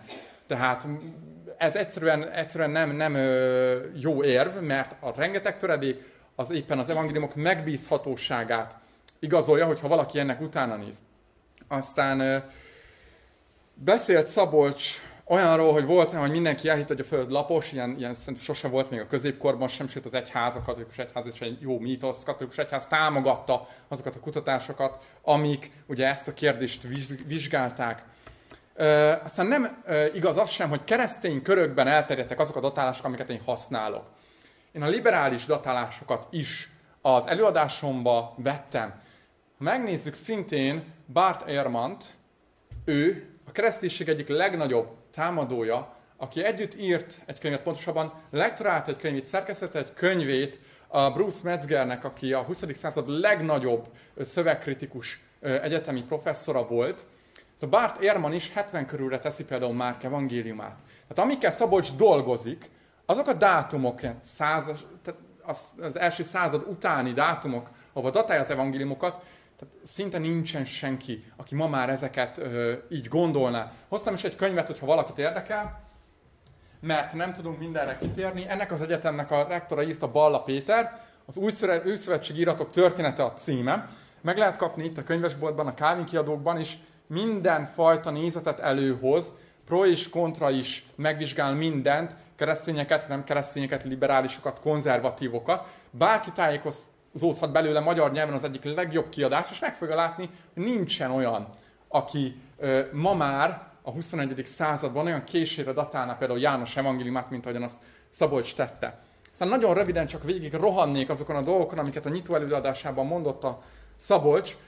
Ugye beszélt az euhemerizmusról, a demitologizációról, azonban az evangéliumok nem úgy néznek ki, mint egy euhemerizált irat. Hogyha valaki egymás mellé veti a kettőt, meg fogja látni akár egy, egy apokrif iratot, ami tele van hatalmasabbnál hatalmasabb csodaleírásokkal és hatalmas mitkus élményekkel, az evangéliumok nem ilyenek.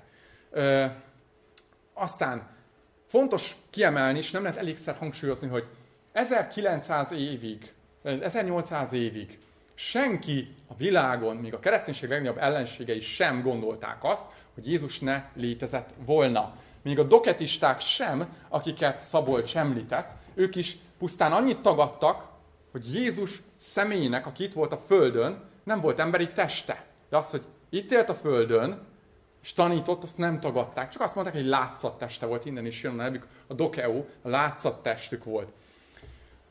Aztán a kargókultuszokra nem térnék ki, a gyanús bizonyíték hiánynál több ö, probléma is akad, ugyanis Tacitus 30 könyvet írt valóban, ahogyan Szabolcs említette, Szabolcs azt sejteti, mintha pontosan mindig csak azok hiányoznának, amik a kereszténységre utalnak, nem, Tacitusztól öt könyv maradt fenn a 30-ból, nem csak az a kis szakasz hiányzik, ami Jézus életét öleli át. Aztán Cassius Dionál ugye megvan az időszámításunk szerinti 30-ról történő leírás, az 56. és 60. könyvben persze, hogy az 55-ben hiányzik, mert nem oda van belerakva, hanem később. Az valóban igaz, hogy a Jézus születéséről tartalmazó leírás az hiányzik, vagy abból a korból.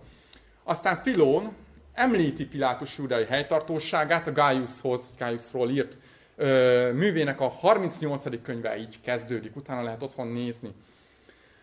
Aztán Pál apostol az utolsó két percben, ugye, nincs olyan irata Pálnak, és nem a Wikipédiára támaszkodom, amit egyöntetően mindenki elutasítana, hogy az Pál írat. Viták vannak, van olyan, amiről a kutatók többsége úgy gondolja, hogy nem páli, pseudoepigráfirat, és a kisebbség gondolja azt, hogy páli, és van fordítva. És ugye itt mindig az érveket kell megnézni. Miért érvelnek úgy? Csak egy nagyon rövid példa. Márk evangéliumát miért rakják? Mi a legbiztosabb érve, leg, legerősebb érve a kutatók körében arra, hogy Márk evangéliuma 70 után keletkezett?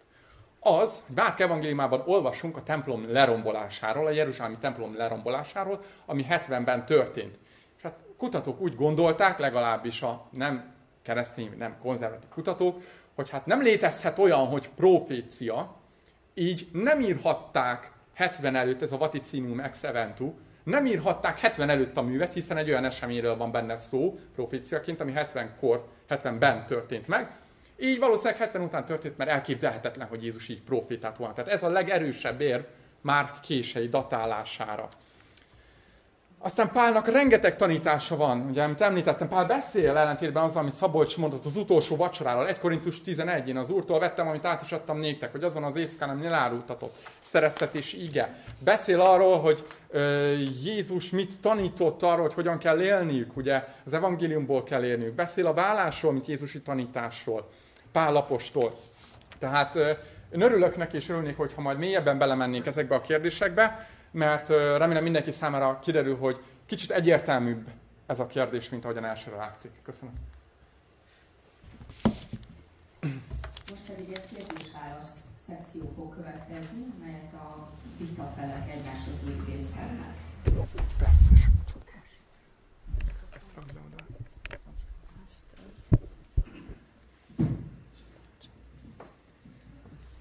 Mm-hmm.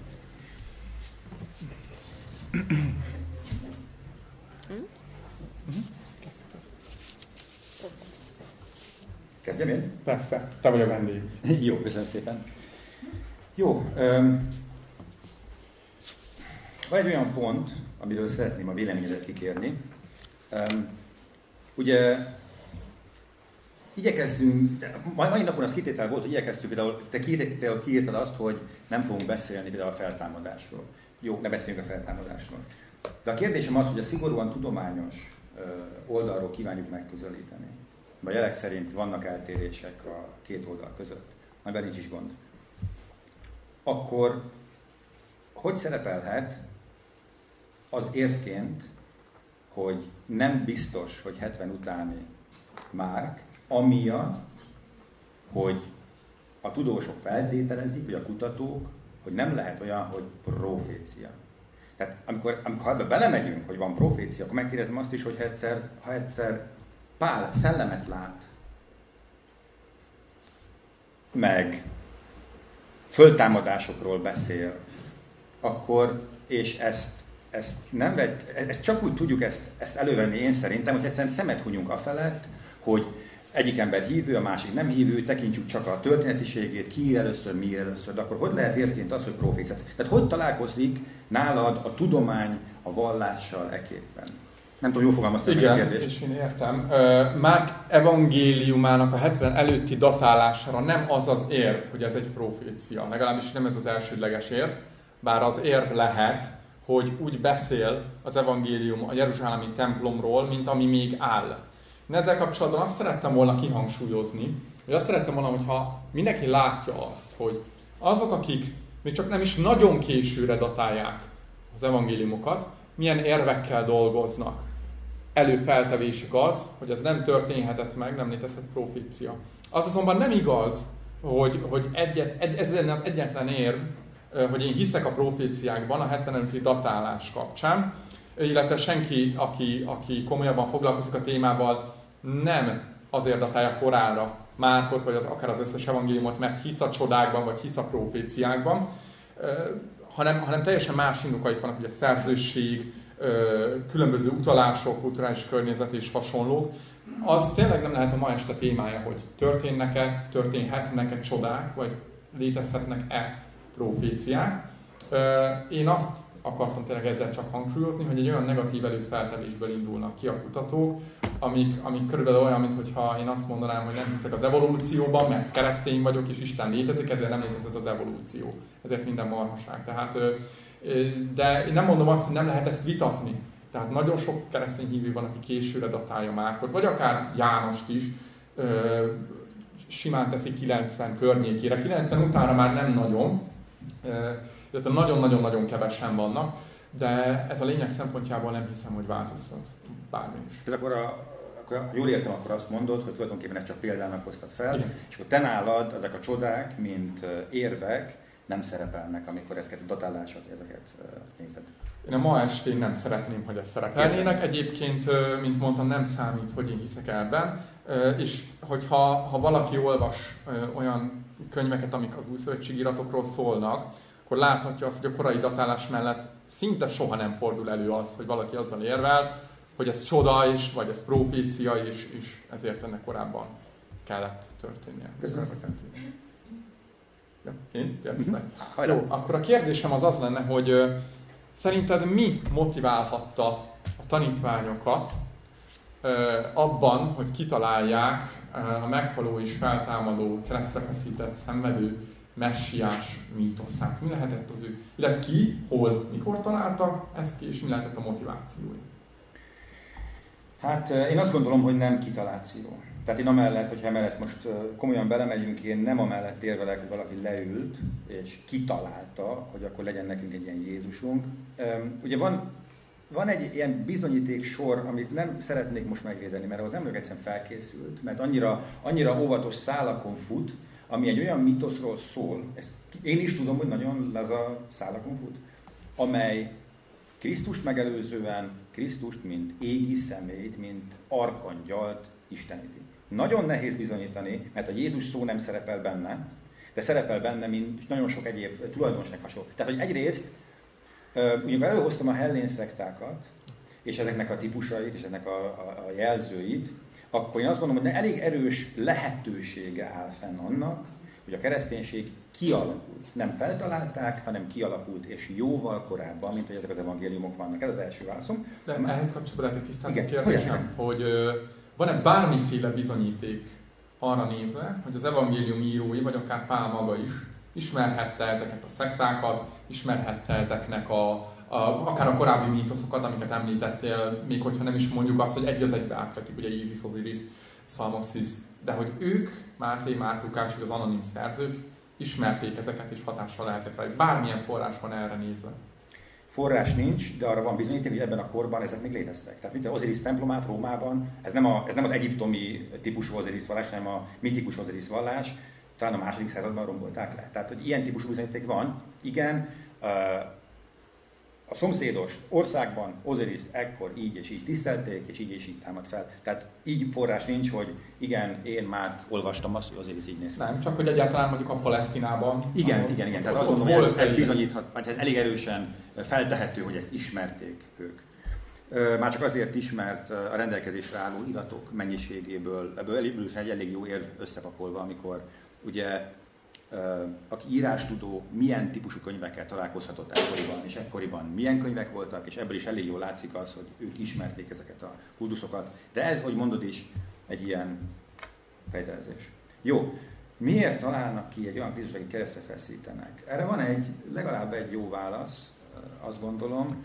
Ugye volt arról szó, hogy a templom, ami még állt, a második templom, ugye, az volt az egyetlen hely, ahol évenkénti áldozatot lehetett és kellett bemutatni. Tehát ez a, bocsánat, hogy mondjam, tehát nem az én szavam járása másolom, de nagyon tetszik, hogy ez a mágia gyenge mágia volt, mert ez csak egy évig hatott. és ö, egy nagyon erős mágia az lesz, hogyha ahelyett, hogy feláldozzuk az évi termést, feláldozzuk az azévi ö, vagyonunkat, ehelyett Isten fiát is feláldozzuk. Tehát az, hogy Jézus ezzel a halálával a végső áldozat, és többé nincs szükség áldozatra, hanem arra van szükség, hogy te elfogad Jézust az ő tanításai szerint, az ő benne lévő hitben megüdvözülj, ez gyakorlatilag feleslegessé teszi a templomi áldozatot, és azt mondom, hogy ez egy nagyon jó magyarázat arra, hogy miért jó nekünk, miért keresztveszített Jézus. Tehát, hogy, a, hogy legyen a templom helyébe valaki. Igen. Ezzel, oké, okay, akkor azt kérdezem, hogy mit szólsz akkor ahhoz, hogy már a templom pusztulása előtt, ugye 70-ben pusztult el a templom, 49-50 környékén, ha csak az írott forrásoknál maradunk, amiket egyöntetően elfogadnak a kutatók, hogy ezeket a pári leveleket, a Galata levelet, a Tesszalonikát adatának, már szó van a keresztre feszített, meghalt és feltámadt Krisztusról, tehát a templom előtt. Akkor nem tudhatták, hogy ezt a templomot le fogják 20 év múlva rombolni, és akkor kitalálunk most egy keresztre feszített messiást, akivel majd magyarázik a templom rombolását. Értem a kérdésedet. Hát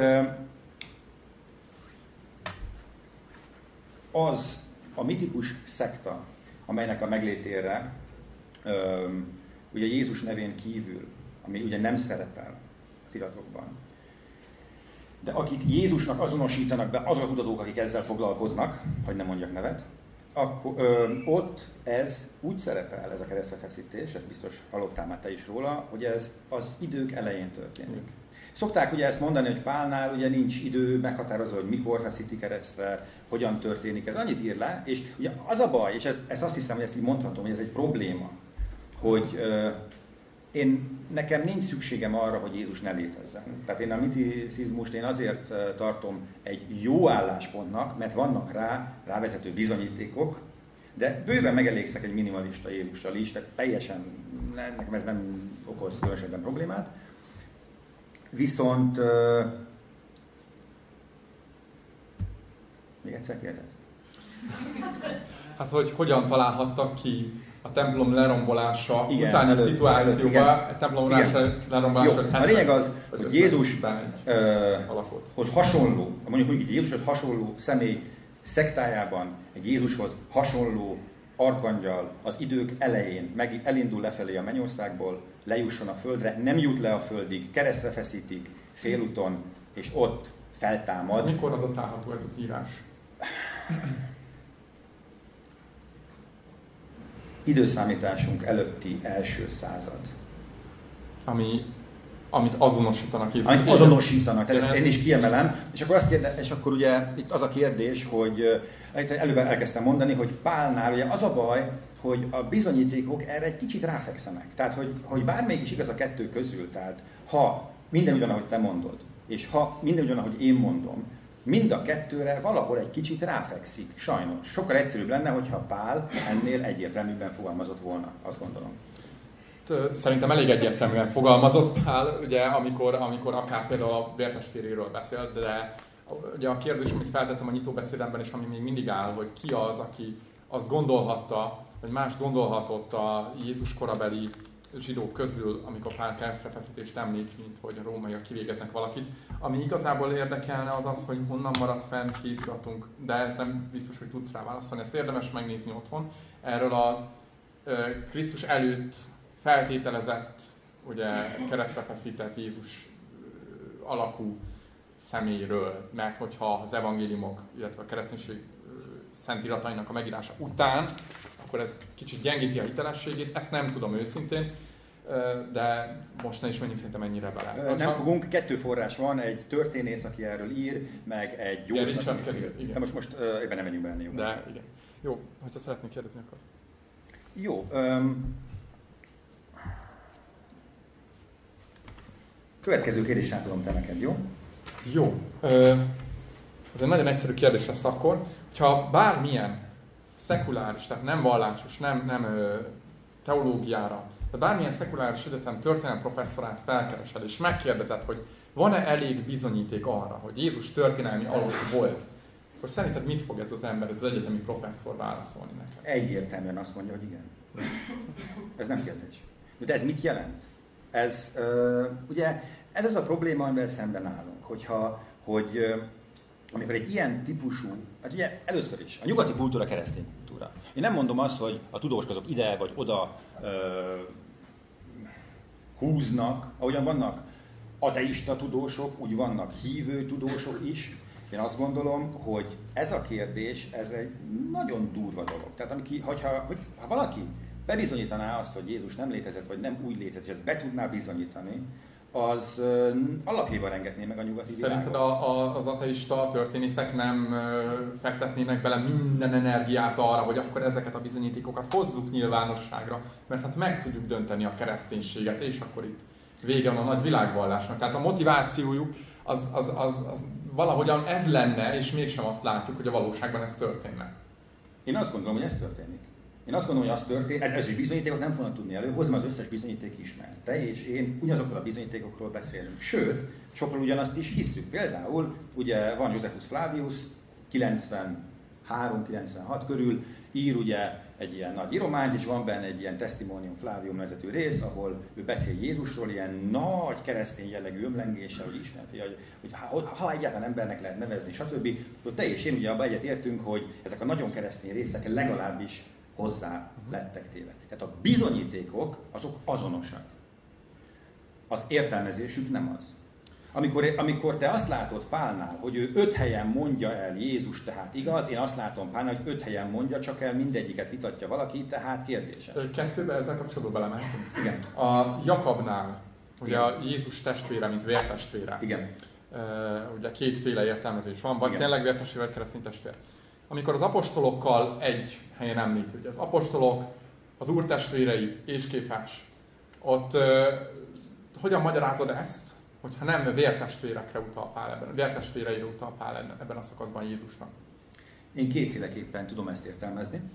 Az első, amit te is mondtál, hogy esetleg mint mint vallási, mint, mint lélektestvér, amit te is te magad is elég jót cáfolt, én azt gondolom, hogy ebben igazad van. Én azt gondolom, hogy a történelmi minimalista Jézus legjobb bizonyítéka ez a mondat. Ez a mondat, hogy én elmegyek ide, és ott találkozok neki a testvérével. Ez lesz a kereszténység alapja mindig is. Cserébe két olyan forrást, másodlagos forrást, könyvet olvastam, ahol ezt valaki vitatja. Nem az a lényeg, hogy igaza van-e, az a lényeg, hogy valamilyen módon talál egy olyan fogást rajta, ahol ez vitatható. Mondok egy egyszerű példát, nem ő írta. Nem az volt benne. Pálnak a, tehát a középkori másolás, én tudom, hogy előbb mondtad, hogy, hogy nem volt igaz, amit mondtam. Kérlek szépen, Mill, aki 1705-ben összeállította ezt a görög Bibliát, onnan nekem ez a számom van. Neki száz forrása volt, nem ezek, a, amiket te néztél, abból a száz forrásból összeszedett valami több mint 5000 különbség. Ez a nagy része kicsi volt, és nem az összeset találta meg, csak a nagyokat. Ők ebben a korban őt ezért kritizálták, hogy hát hogy merészeli, ugye, hogy meg akarja ingatni a hitet, pedig hát nem ő írta a különbséget, ő csak így föltérképezte. De abban igazad van, azt én is tudom, hogy a tudománynak nincs egyöntetű véleménye a különbségekről, de hozzáteszem, hogy ha minden szót, minden betűt megszámolunk, akkor nagyon-nagyon-nagyon sok jön ki, és hogy én is mondtam, a 99%-nak semmi értelme nincs, nem számít. De ezzel az a probléma, hogy ezek a különbségek, hogy el, tudjátok, el tudják képzelni, ezek úgy néznek ki, hogy van mondjuk 100 kéziratom, csak hasamra ütök, mondjuk a Márk evangéliumából, ami tartalmaz az első fejezetet.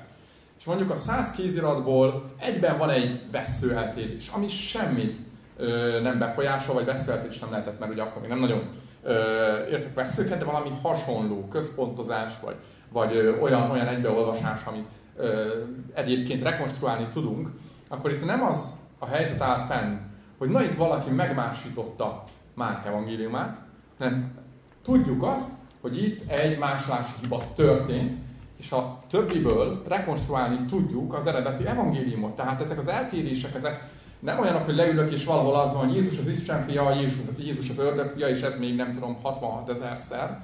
Tehát nem véletlen az, hogy ma is egyébként a szövegkritika is viszonylag új tudomány, tehát nagyjából akkor indult, de inkább a 19. században, amikor, amikor az első kritikai görög kiadásokat összeállították.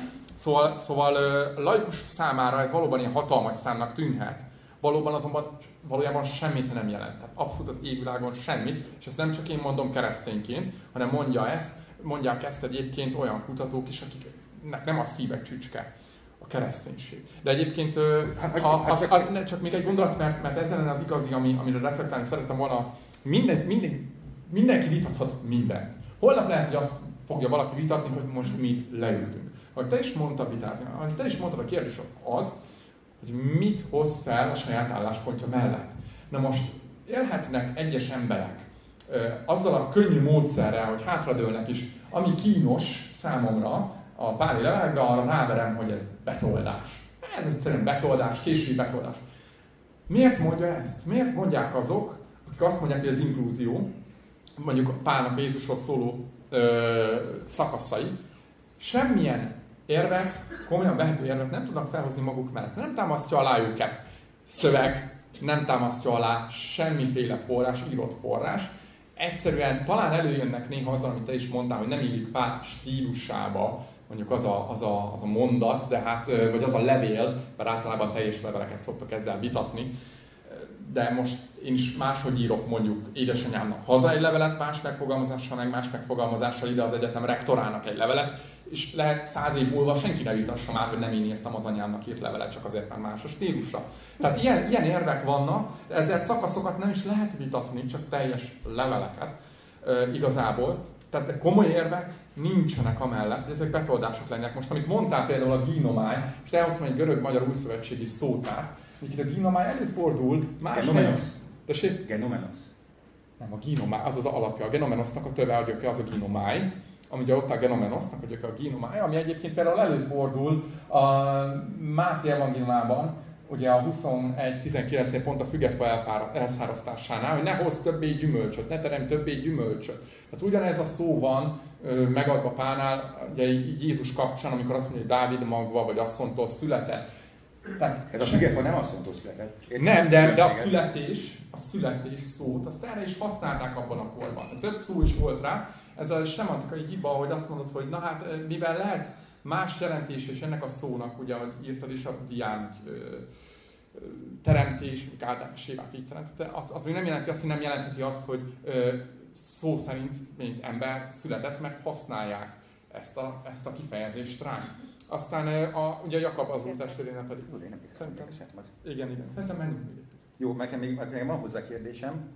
Az előző, még a választ fejezem be. Jó, mert ugye ez annak volt az intermezója, amit kérdeztél, hogy akkor hogy lehet, hogy pár meg így, meg úgy. Amikor arról beszéltünk, hogy vannak-e hibák, vannak-e másolási hibák, ezek mit jelentenek. Ugye azt mondod, hogy senkit nem érdekel komolyan, de te beszéltél Bárt Érmánról, akkor javaslom, hogy járj utána annak, hogy ő milyen könyvet írt az evangéliumoknak a hiba különbségéről.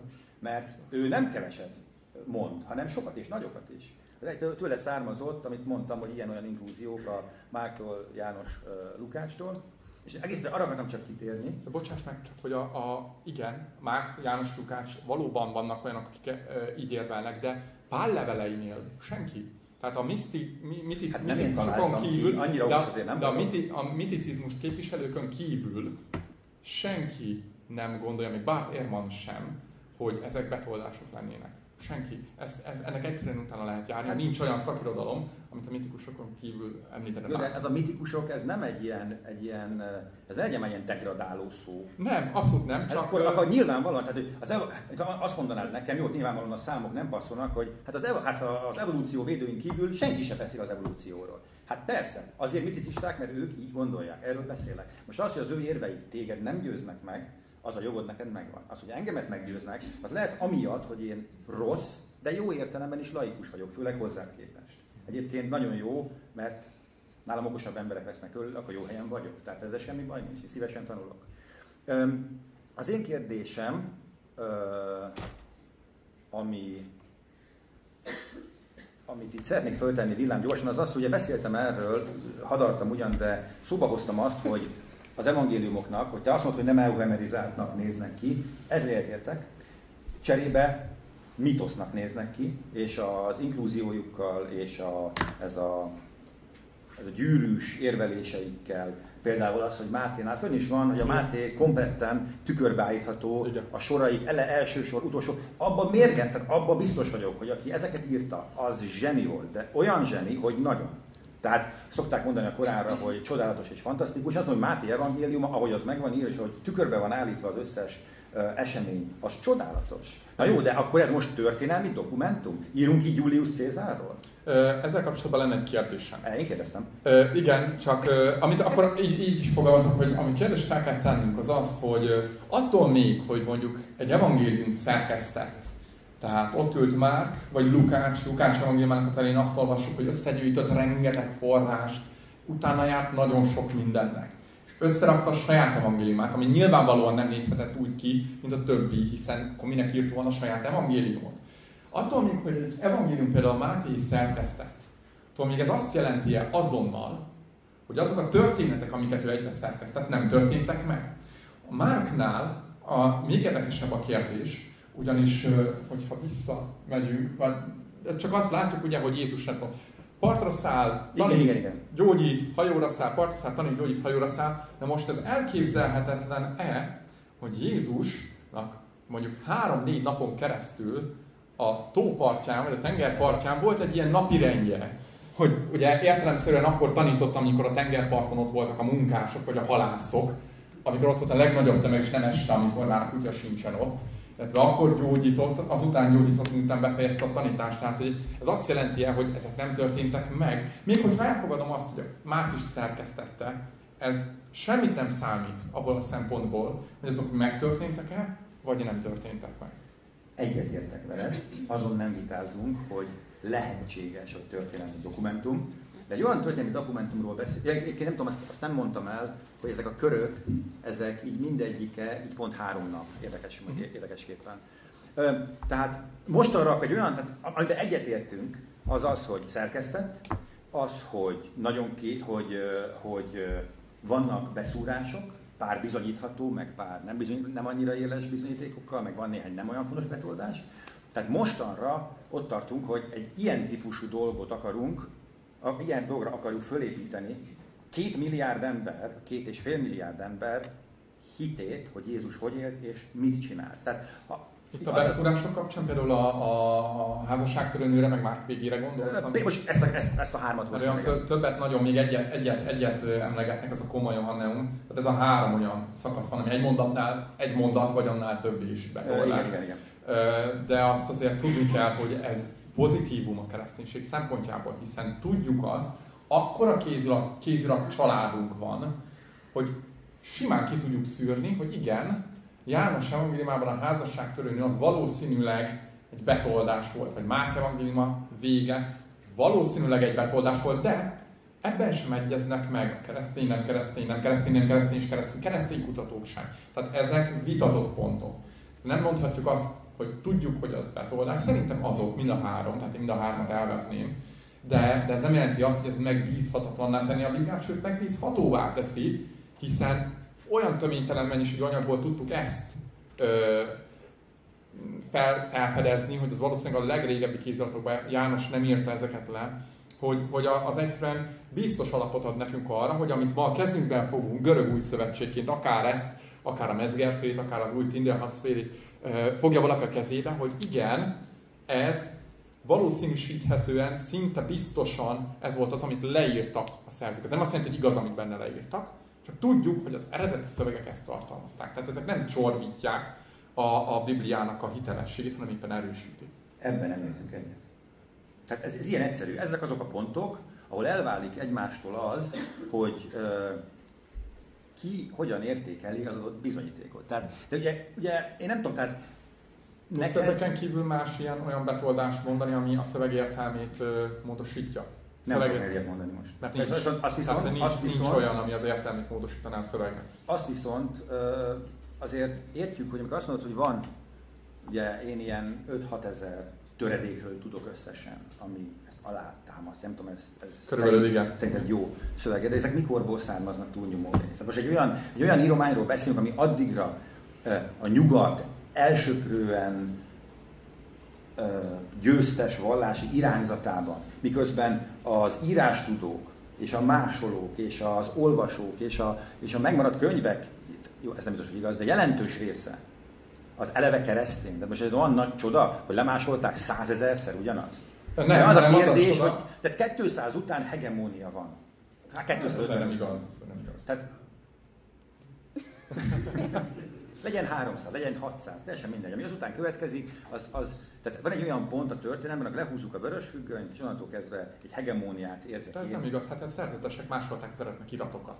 Tehát, hogy Josephus Flavius például, Josephus annyira utálták a zsidók azért, mert a rómaiak pártjára állt, hogy egyszerűen szinte tiltották a könyvét, és a keresztények másolták. Gnosztikus eh, iratokat, eretnek iratokat keresztény szerzetesek másoltak. Tehát ezt ne képzeljük el úgy, hogy lehúztuk a vörös függönyt, és onnantól kezdve csak az van, amit mi mondunk. Tehát nincs egy ilyen centralizáció az iratokban, és pont ez a csoda, hogy, hogy a keleti, bizánci, vagy a nyugati másolatok, tehát nem, de csak az a kérdés, hogy meddig tudunk visszamenni, hanem helyileg is függetlenül milyen ö, területeken osztanak el azok az iratok, amiket megtaláltunk, megkaptunk. Tehát ez egy nagy, a szövegkritika egy nagyon-nagyon komoly ö, ága a, az új szövetség kutatásnak. És az, hogy most mondjuk 200-ból vagy 300-ból az első teljes mondjuk új szövetségünk, vagy akár még későbbről, ez nem azt jelenti, hogy ne tudnánk rekonstruálni az eredeti iratokat, még akkor is, hogyha tényleg a legkorábbi iratunk az, az Krisztus után 100-120 környékiről töredékünk maradt fenn, hogy te is említetted a Rinalds Papyrus. Tehát ez, ez nem azt nem szoroz. Egy kérdésem, legyen egy utolsó. Erre nem muszáj válaszolnod, ez komolyan. Tehát, hogyha ez azon, hogy ez már túlmutat azon a ponton, ez a hitvitai pont, hogy nem fogunk mai beszélni. Te el tudod képzelni, ez azt értem, hogy valóban megjelenik-e benned a kételj annak kapcsán, hogy Jézus esetleg nem is létezett, vagy nem úgy létezett, ahogy mi tudjuk, egy ilyen, tehát ilyen, ilyen minimalizmus felé, hogy, a, hogy amikor ezeket olvasod, vagy te is olvastad, ezeket Érmánt olvastad, a, olvastad szerintem Kerjárt, az összes többit is, megjelente a kételj valaha, vagy sziklaszilárdan tudod, hogy Jézus létezett? Ez két dolog. Ugye a hit és a tudás kapcsolatát firtatja, hogyha tehát el tudok képzelni természetesen, és akkor szerintem ez a legőszintébb válasz, el tudok képzelni olyan bizonyítékot, ami megcáfolja a kereszténységet. El tudok képzelni olyan bizonyítékot, ami megcáfolja az én hitemet, nem csak, hogy nem feltétlenül az, keresztény vagyok, hanem mondjuk református vagyok. Tehát én nyitott vagyok erre, ezért is van az, hogy, hogy például ilyen vitánkra leülök, vagy leülünk és, és szorgalmazok azt, hogy egyre többen üljenek le, hogy, hogy igen, és ne csak a hitükkel fogadják el azt, hanem legyen egy azt, amiben hisznek, nem legyen mögött egy biztos tudásuk is. Én Kerriertől nem kaptam olyan érvet, ami, ami meggyőzött volna, de nem azért, mert én olyan okos vagyok, hanem mert olvastam őt is, és olvastam a reflexiókat is rá, és vice és aztán az arra adott dolgokat is. És hát nem tudok mit csinálni, levontam magamban a következtetés, és remélem, hogy akik itt vannak, azok is ha hazamennek, levonják a következtetést, és eldöntik, hogy ki győzte meg őket, hogy ki volt a következetesebb, kinek volt erősebb az érvelése. Köszönöm szépen. A reflexiók. Ugye? Jó, záró, záró Jó, akkor nem. Kezdjette, te, nyugodtan az záróbeszédet. Kezdem? Nem kezdte. Jó, akkor ezt így újra. A, a pult, pultot is Gondolod? Közeledünk az este végéhez, és szeretném, hogyha Szabolcs megtartaná a záróbeszédet. Viszem.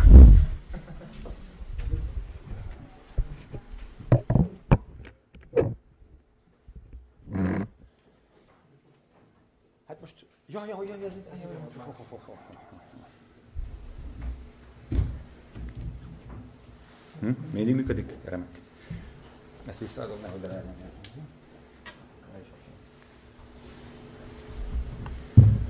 Én még egyszer megköszönöm, hogy eljöttek, megtiszteltek minket ezzel a, azzal, hogy, eh, hogy felkeresi ezt a vitát. Én azt gondolom, hogy Jézusban hinni nagyon-nagyon kényelmes. Ez értem azt, és, tehát a, nem csak a keresztény, tehát nem csak a vallásos hitet, hanem a történelmiségben való hitet is. Nagyon kényelmes és jó dolog. Tehát aki innen úgy megy haza, hogy Jézus létezett, és létezik, és él, az ma nyugodt álomra hajthatja a fejét. Nincs hozzá más dolga, mint elhinnie azt, hogy az események után, még akkor is, hogyha leg, ha azokat a számokat vesszük, amelyekről a Gergő beszélt, egy adott esemény után 30, 40, 50 évvel valaki még le tudja írni akár megközelítőleg is azt, ami történt, szó szerint egy olyan időszakban, amikor nincs diktafon, meg nincs internet, meg nincs újság, hanem írástudatlan emberek tömkelege van, és szóbeli mondákban őrzik meg az eseményt akkor is, ha megtörtént. Tehát nincs más dolga az embernek, hogy elhiggye azt, hogy az evangéliumok akármikor is íródtak, akár száz, akár 40 évvel később még igazat tudnak mondani. Nincs más dolga, mint elhinni azt, hogy Pálnak megjelent egy szellem, aki feltámadt, és innentől kezdve Pál igazat beszélt. És azt gondolom, hogy elfogadnia azt, ami ugye a történetiséghez valamennyire hozzátartozik, bár ma nem annyira érintettük, hogy mit fogadtak el kánonnak és mit nem. Persze ezekre is vannak logikai érvelések, hogy valami miért nem lehet kánon, miért lesz apokrifirat, miért túl kései, miért nem jókor van, miért nem úgy, miért nem úgy, miért nem amúgy. De ugye beszéltem egy pillanatra, megemlítettem Szent Kelemen levelét, ami apokrif, járjanak utána. Nagyon érdekes dolgokat lehet benne találni. Tehát elhinni azt, hogy az összes döntés, ami részint politikai volt a kereszténység történetében, és érintette akár a Bibliának a tartalmát, akár a Bibliának az értelmezését, az mind helyes volt, és ezeket mind-mind-mind el tudja hinni és el tudja fogadni, az gyakorlatilag megcsinálta a házi feladatát, és el tudja fogadni a történelmi Jézust. Én azt gondolom, hogy az, hogy ez a, ez a vita, ez folyik nagyon-nagyon régóta, az, hogy nem, nem hoztak fel olyan perdöntő bizonyítékot egyik oldalról sem, ami befejezte volna ezt. Tehát az rendben van, hogy mondjuk itt volt beszélünk Kerrierről, vagy Érmanról, ami mondjuk a Gergőt nem győzte meg, de attól ezek még ott vannak, és utánuk lehet járni, de azért nincsen könnyű dolga. Tehát aki, aki valóban utána akar járni, annak annyiból nincsen könnyű dolga, hogy ö, nehéz megtalálni a, a konszenzust. Tehát amikor, amikor, amikor egy ma élő professzor kiteheti bizonyos érvek alapján, és van neki rá érvelése, kiteheti a páli levelektől kezdve az evangéliumig az egész új szövetséget a második századba, ami szerintem is meredek. De ebből tud írni peer-reviewed papírt, és kiadják, és meg lehet nézni, azért az legalább azt a kérdést felveti, hogy nem vagyunk annyira biztosak benne, mint ahogy én az gyerekkoromban hittem. Tehát ugye mi Jézust anyateljel szívtuk magunkba, melyünk a kultúránk nagyon sok eleme szól erről, ezért nagyon nehéz benne megtalálni a megfelelő utat ebben a labirintusban, annak, aki erre az útra vállalkozik.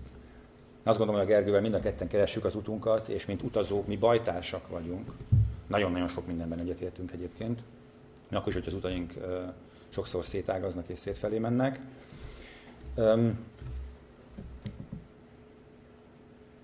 De a kérdés az adott lesz, hogy ezek a bizonyítékok, amiket felsoroltunk így mennyiségire, tehát hogy, hogy mennyi van belőlük és hova tehetőek, én azt gondolom, hogy mindenkinek el kell dönteni a saját magának, hogy ezek elégségesek-e ahhoz, hogy komplet életviteli szabályokat fogalmazzunk meg ezek alapján, hogy eldöntsük, hogy Istennek mondjuk a melegek mondjuk tetszősek vagy nem tetszősek. Ezek alapján olyan olyan politikai döntéseket hozzunk, amik, amik befolyásolják azoknak az életét is, akik nem is vallásosak egyáltalán. Úgyhogy köszönöm szépen, hogy meghallgattak. Tisztában vagyok vele, hogy ezek az álláspontok, ezek vadak és furcsák és újszerűek, de legalább elindult egy beszélgetés, azt gondolom erről.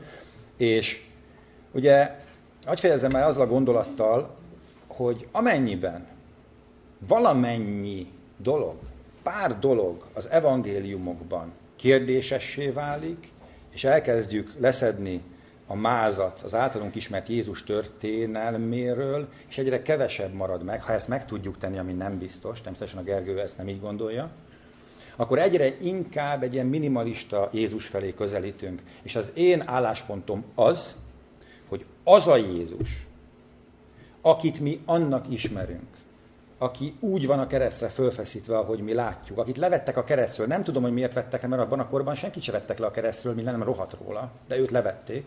Ez egy külön érvendszer egyébként. Tehát az a Jézus, aki azokat tette, azokat a csodákat, és így és így volt neki az élete, ez egyre kevésbé lesz védhető, és ekkor már nem nagyon különbözik az, hogy valójában egy mitikus szeméről, egy létező, de misztifikált szeméről beszélünk, több személy összedolgozott amalgamjáról beszélünk. Tehát ez egy, egy ilyen kérdés, hogy, hogy túlmentem rajta. Ez egy ilyen kérdés. Köszönöm szépen!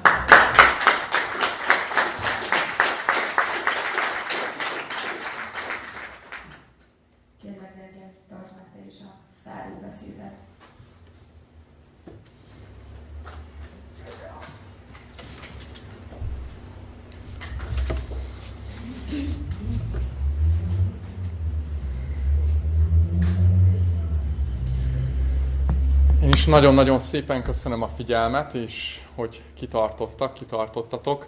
és köszönöm Szabolcsnak, hogy felkészült a ma estére, és elég hülyen képviselte az ő álláspontját. Annyit még megjegyeznék, hogy Kelemen levélről nem nagyon találtam olyat, aki tehát ne, nagyon rossz értelemben, nagyon rosszul fog hangzani, de ne, sufni kutató lenne, és azt mondaná, hogy 70 előtt keletkezett. Tehát az egy, egyértelmű kutatók számára, és ez nagyon rossz megint csak ugye a konszenzusra appellálni, de, de nem nagyon van komoly ember, aki 70 előttre tenni. 70 és 140 közé teszik, és az a kérdés hogy ebben a, ebben a, a, a, a szakaszban mikor keletkezett. A ma este nagyon sok területet érintettünk. Érintettük szövegkritikát, a Biblia megbízhatóságát, a csodák kérdését. Most Szabolcs itt az záró beszédében mennyire megbízhatóak a Jézus csodái, vagy tudhatjuk-e, hogy Jézus csodát tett. Ezzel kapcsolatban csak két dolgot szeretnék mondani. Az, hogy valaki elfogadja Jézus történetiségét, hogy élt és meghalt, nem kell elfogadni a teljes Bibliát. Ezzel kezdtem, hogy nem kell idáig eljutni ahhoz, hogy, hogy valaki bevallja, hogy igen, élt egy, egy názereti Jézus, aki történeti alak volt. Az, hogy Jézus mennyi csodát tett, hogy feltámasztott-e holtakat, vagy feltámadta a halálból, hogy meggyógyította a vakot vagy a leprást, ezeket lehet egyenként is vizsgálni, de nagyon-nagyon-nagyon messzire vezet. És ahogy említettük, említette Timi az elején, ez egy vitaes sorozat lesz, aminek a következő része, nem tudom még, hogy Szabolcsal, vagy mással, vagy velem, vagy mással, Jézus feltámadásáról fog szólni. Ugyanis alapot kell adni annak, hogy beszélhessünk arról, hogy feltámadta Jézus, vagy sem. És ez az alap, az kell, hogy legyen, hogy legalább egy minimális történeti Jézust elfogadunk. És ha Jézus feltámad, hogyha valaki számára meggyőzőbbek azok a bizonyítékok, amiket az egyik oldal sorakoztat fel, mint a másik, és elfogadja, hogy Jézus feltámadt, akkor onnantól kezdve nem kérdés az, hogy képes volt-e, képes lehetette meggyógyítani a bénát, vagy a vakot, vagy a süketet, vagy feltámasztani Lázárt. Minden Jézus feltámadásán áll, vagy bukik. Így nem érzem azt, hogy apránként kéne ezeket a kérdéseket vizsgálnunk. De ugye láthattuk azt, hogy azok a bizonyítékok, amiket igyekeztem felvonultatni, amik alátámasztják azt, hogy élt egy Jézus nevű zsidó ember a Palesztinában, az rendkívül bőséges és rendkívül változatos. Több, mint amire első ránézésre gondolnánk. És ezek egymástól független beszámolók, és nem csak ö, szövegileg független beszámolók, hanem területileg is független beszámolók. Róma, Palesztina, a levelek Görögországtól elkezdve, megint Itáliába mehetünk.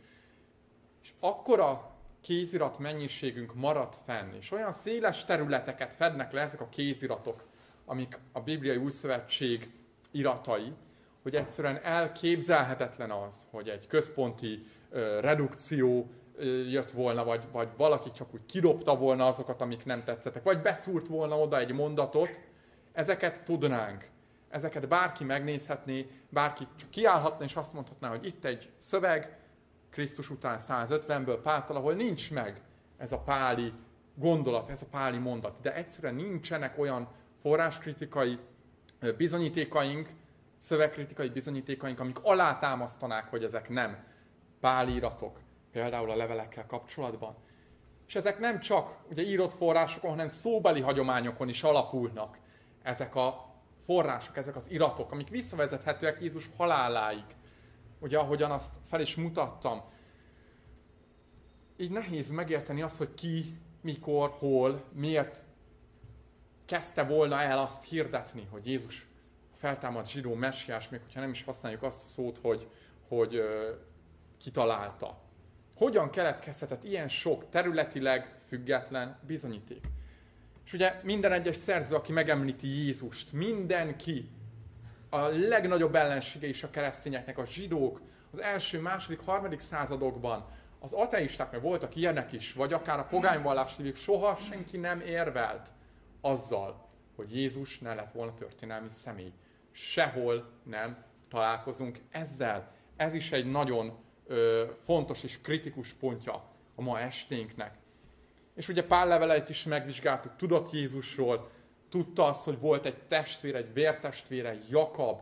Tudta azt, hogy megfeszítették, és senki nem gondolt azt abban a korban. Találunk iratokat az első és második századból, mit értettek az emberek keresztre feszítésre alatt, és nem az, hogy az űrben vagy az idők előtt valamikor keresztre feszítettek valakit. Keresztre feszített Jézusról, keresztre feszített messiásról szólnak ezek a hagyományok. És ugye, ami a legfontosabb, vagy ami kiemelten fontos, hogy nem lehetett Jézus, keresztre feszített Jézus egy kitaláció, amit azért hoztak létre, hogy valami mitikus beteljesedést adjanak a templom pusztulásának, vagy a messiás váradalmaknak. Mert a legnagyobb akadály volt, és ezzel zárnám a keresztények számára, ehhez éppen Jézus keresztre feszítése volt az, ami gátolta a missziójukat a zsidók felé, és akár a pogányok felé is. Az ok, ami miatt a szenvedő Krisztus hirdették, az az volt, hogy mindenki és mindenhol tudta, nem csak a keresztények, hanem a nem keresztények is a korban, hogy a názereti Jézust megfeszítették, kivégezték, és nem végezhették volna ki, hogyha nem élt volna. És így zárásként szeretnék egy ajándékot átadni még Szabolcsnak, ugyanis szóba került az, hogy mit hisznek a katolikusok, mit hisznek a reformátusok, mik a keresztény hitnek az alapjai. Szeretném odajándékozni a második helvét hitvallást, ami a református egyházam hivatalos hitvallás irata, és ezt olvassuk az elején. Vallástétel és egyszerű magyarázat az igaz hitről és a tiszta keresztény vallás egyetemes tantételeiről, és remélem, hogy ezt elolvasva Szabolcs még jobban megismeri azt, hogy én személy szerint Nagy Gergely miben hiszek és mit képviselek. És köszönöm szépen még egyszer, hogy megjelentetek.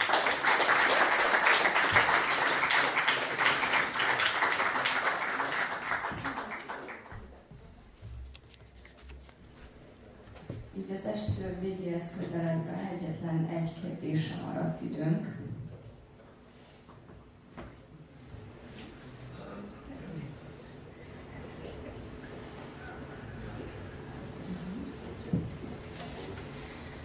miért találták ki a görögök, miért találtak ki a görögök egy Pallas Athénét, aki Zeus fejéből pattant ki. Mi érdekük fűződött ehhez, ez mitől lenne ért Pallas Athéné létezése mellett?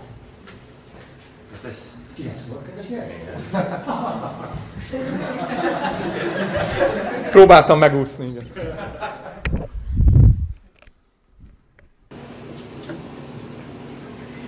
Most én nem tudom, hogy személy szerint mi volt a motivációja annak, aki Zeusról vagy Pallas Athénéről írt, vagy kitalálta az ő alakját, vagy alakjukat, azonban azt tudom, hogy mi nem volt a motivációja annak, aki Jézusról beszélt az első században, és nem volt a motivációja az, hogy meggazdagodjon, hiszen az apostolok, az első keresztények azt hirtették, hogy ne a földi javakkal törődjetek, és az nem valamiféle olyan kommunizmus volt, ahol ti legyetek szegények és mi meg gazdagszunk, hanem szegénységben haltak meg mind.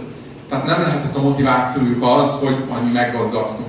Nem lehetett a motivációjuk, hogy, hogy nőket gyűjtsenek maguk köré, mint ahogyan a mai szekta alapítók motivációja például ez lehet, minél nagyobb figyelmet kapjanak, hiszen vagy egy feleségük volt, és azt hirdették, hogy nekik egy feleségetek legyen, vagy ugye nem voltak házasok tehát ne, egyszerűen nincs olyan ö, motiváció, nincs olyan pont, amire azt mondhatnánk, hogy amellett, vagy azon, azon kívül, hogy ők a mennyeire tekintetek, és az örök életük miatt, és az örök életükkel kapcsolatban hirdették azt, hogy Jézus meghalt és feltámadt, egyszerűen nincsen földi ok, és nincsen földi semmilyen motiváció erre. Azt őszintén nem tudom. Lehet, hogy te, te tudod, hogy, hogy miért és mikor és hogyan találták ki ezeket a görög isteneket, de, de van egy olyan sanda gyanúm, hogy a több motivációjuk lehetett, mint, a, mint az első keresztény. Én azt gondolom, hogy bárki, aki isteneket talál ki, ugyanaz a motivációval dolgozik, magyarázni kívánja a körülötte lévő mm, szinte érthetetlen világot. Tehát azért ebben a korban, beleértve a görögöket, de beleértve Jézus korát is, az emberek nagyon keveset tudtak a világnak azon működéséről, amivel többet. Most, milyen planéták forognak, mi körül, miért van gravitáció, miért a tűz, miért van, miért van ez, miért van az, honnan fúj a szél, milyen mély az óceán, vannak griffek, stb. Tehát ezt a kérdést ők nem nagyon tudták, és viszont ugyanaz az éjséggel figyelték, mint mi, ugyanaz a tudásészséggel. Most én egy szempontból érdekesnek tartom, annyiból behoznám, hogy én elsősorban a gnosztikus iratokkal foglalkozok. És a gnosztikus iratok azért érdekelnek engem, mert hihetetlen jó bepillantást mutatnak az akkori ember gondolkodás módjára, és modellezni próbálják a világot. És nagyon szép logikákkal vezetik le, hogy hogyan lesz Isten az egy, aztán kettő, aztán három, és hogy, hogy jönnek az eonok, meg a fényességek, meg a hatalmasság, stb. stb. stb.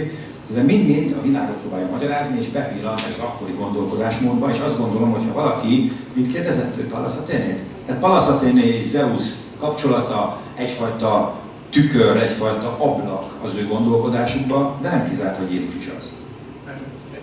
Egy mondatban erre reagálok, aztán megadom, hogy szeretném hozzáfűzni mert ez nagyon fontos és gyakran előkerül kereszténységgel és a zsidó keresztény kultúrával kapcsolatban. Ugye, ahogy említetted is, régen éltek az emberek, akik nem tudják, honnan jönnek a villámok, honnan jönnek a hullámok, hogyan kell fel, miért kell fel a nap, miért kell fel a hold, és isteneket raktak mögéjük, vagy, vagy akár megistenítették őket, ugye ez egyiptomi kultúrában. Na most ez igaz minden vallásra nézve, kivéve a zsidó és a keresztény kultúrára és vallásra. Ugyanis pont ez az, ami megkülönbözteti őket a többitől, a zsidó és a keresztény kultúrát. A, ha megnézzük a teremtés történetet a Bibliában, lesz írva benne, hogy a napot és a holdat teremtette meg Isten, csak világító égitesteket. Ez, ez is egyfajta, ha szabad így fogalmazni, demitologizálása a, akár a napnak, akár a holdnak. Ugye tudták azt Egyiptomban, hogy Istenként tisztelik őket. A keresztény és zsidó kultúra nem ezen alapul. Nem találtak ki Istent a villámok mögé, nem találtak ki Istent a napfelkeléshez. Teljesen lehetett motiváció, tényleg mondhatjuk azt, hogy magyarázni akarták a körülöttük lévő világot, és hogy, hogy hova jutunk a halálunk után, de nem hiszem, hogy olyan jó magyarázat lenne, hogy hát szenvedek egész életemben, földi nyomorúságom lesz, éhezem, szomjazom, kiűznek városokból, de ezt teszem azért, mert majd utána jó lesz. Persze lehet, de a legtöbb vallás egyébként a földi boldogság és a földi élet és a gazdagságra is helyezi a hangsúlyt. Szóval csak ennyit akartam, hogy ez különbség a zsidó-keresztény kultúrkör és vallás és a többi vallás között. Um, ez úgy ez igaznak tűnik retrospektíven, de ugye egy dolgot nem szabad elfelejteni, hogy ebben a korszakban alakulnak ki ezek az ismérvek ezek a vallásokról.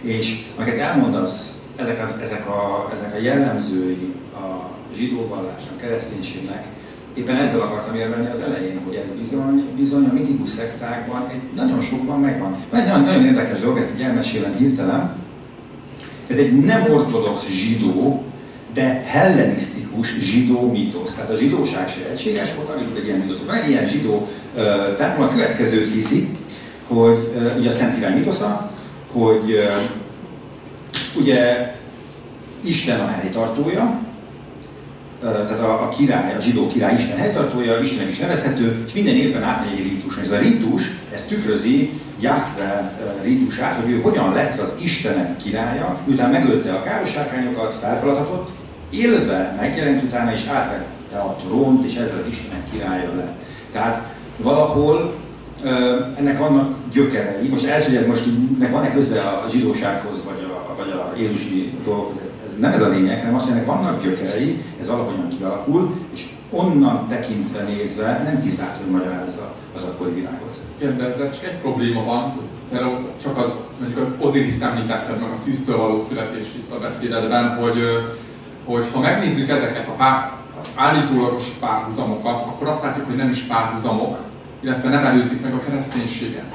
Tehát mondjuk a szűztől születés az ezekben a, ezekben a mítoszokban úgy néz ki, hogy legyen az Isten közösül a nővel, szó szerint, akik, aki teherbe esik és gyermeket fogad. Míg a kereszténységben nem így néz ki az Istentől való fogadtatás. Aztán, ha csak Osiris nézzük, és érdemes ezeket mindig, ezeket a kérdéseket feltenni, nem mondom, hogy mindenkinél így van, de akiknek eddig utána jártam, annál ezt találtam, ugye az Isis és Osiris ki, kinél találjuk meg az Isis és Osiris mítoszát? Ki írta először? P betűvel kezdődik a de az a lényeg, hogy a Isis és Osirisről szóló első fennmaradt írásunk, ahol említik ezeket a mítoszokat, amiket általában párhuzamba szoktak állítani a kereszténységgel? Nem. Az a harmadik századból való, Krisztus után. Ugyanígy a gnosztikus iratok, sokkal későbbiek, mint a keresztény iratok. Meg az evangéliumok egy része is. Ö, teljességében. De nem az a kérdés, hogy mikortól maradt fent ránk, igen, hanem hogy hova datálhatjuk vissza. De például az Isis, és Osiris kultuszára, hogyha valaki azt akarja mondani, hogy onnan vette át a kereszténység. Ezt nem mondtam. A, csak azt akarja, persze, nem szeretem, hogy ezt mondtad, csak ezt akarja valaki mondani, akkor figyelembe kell venni azt, hogy ha elolvasom Isis és Osiris történetét, akkor az a történet, az jóval az evangéliumok után íródott le. Tehát, és ez is, nem azt mondom, hogy perdöntő, de azért oda rakja az ember fülébe a bogarat, hogy na vajon akkor kimásolt valószínűleg kiről. Hát jó, nézd, ugye mit rász, tök jó példa erre, mit rász, ugye a jó rossz példa, a rossz példa amiatt, hogy a feltámadásáról nem tudunk, jó példa amiatt, hogy nagyon sok párhuzam van, van neki például Pasi, stb. Viszont azt tudjuk, hogy időszámítások előtt 5.-4. századból van. És abból a korszakból megmaradtak az ő templomai, ahol látjuk az a pasióját, meg az, az utolsó vasarájáról néz ki. Tudjuk, hogy december 25-én van a születésnapja. Nem igaz. Tehát ezeket YouTube-ba beírjuk, hogy mit rász debunked, mit rász mítosz megcáfolva, és látjuk, hogy nem. Tehát ezek, bocsánat, csak hogyha valaki ezeket megnézi, és nagyon nem menjünk bele, mert egyébként azt tudni kell, hogy előtte megbeszéltük azt, hogy, hogy beszéltünk arról, hogy belemegyünk ezekbe a témákba, hogy Szalmoxis, Mitrász, Osiris, egy nagyon jó külön a témája lehetne, szívesen bármikor, de, de azért nem, nem, nem ennyire egyértelmű a helyzet, hogy finoman fogalmazza. De persze a YouTube videókon találkozhatunk olyannal, aki, a Zeitgeist, a híres dokumentumfilm, ami ezt előhozza, de ez körülbelül az a szint is. De hogy az utolsó szót azt odaadom neked, és akkor bezárjuk, jó? Mert elhúzott. Tehát, hogyha bármit szeretném mondani, ne az enyém legyen az utolsó szó. És megköszönöm, hogy itt volt. Hmm. Köszönöm szépen, hogy jöttetek és meghallgattátok. Innen folytatjuk. Köszönjük szépen.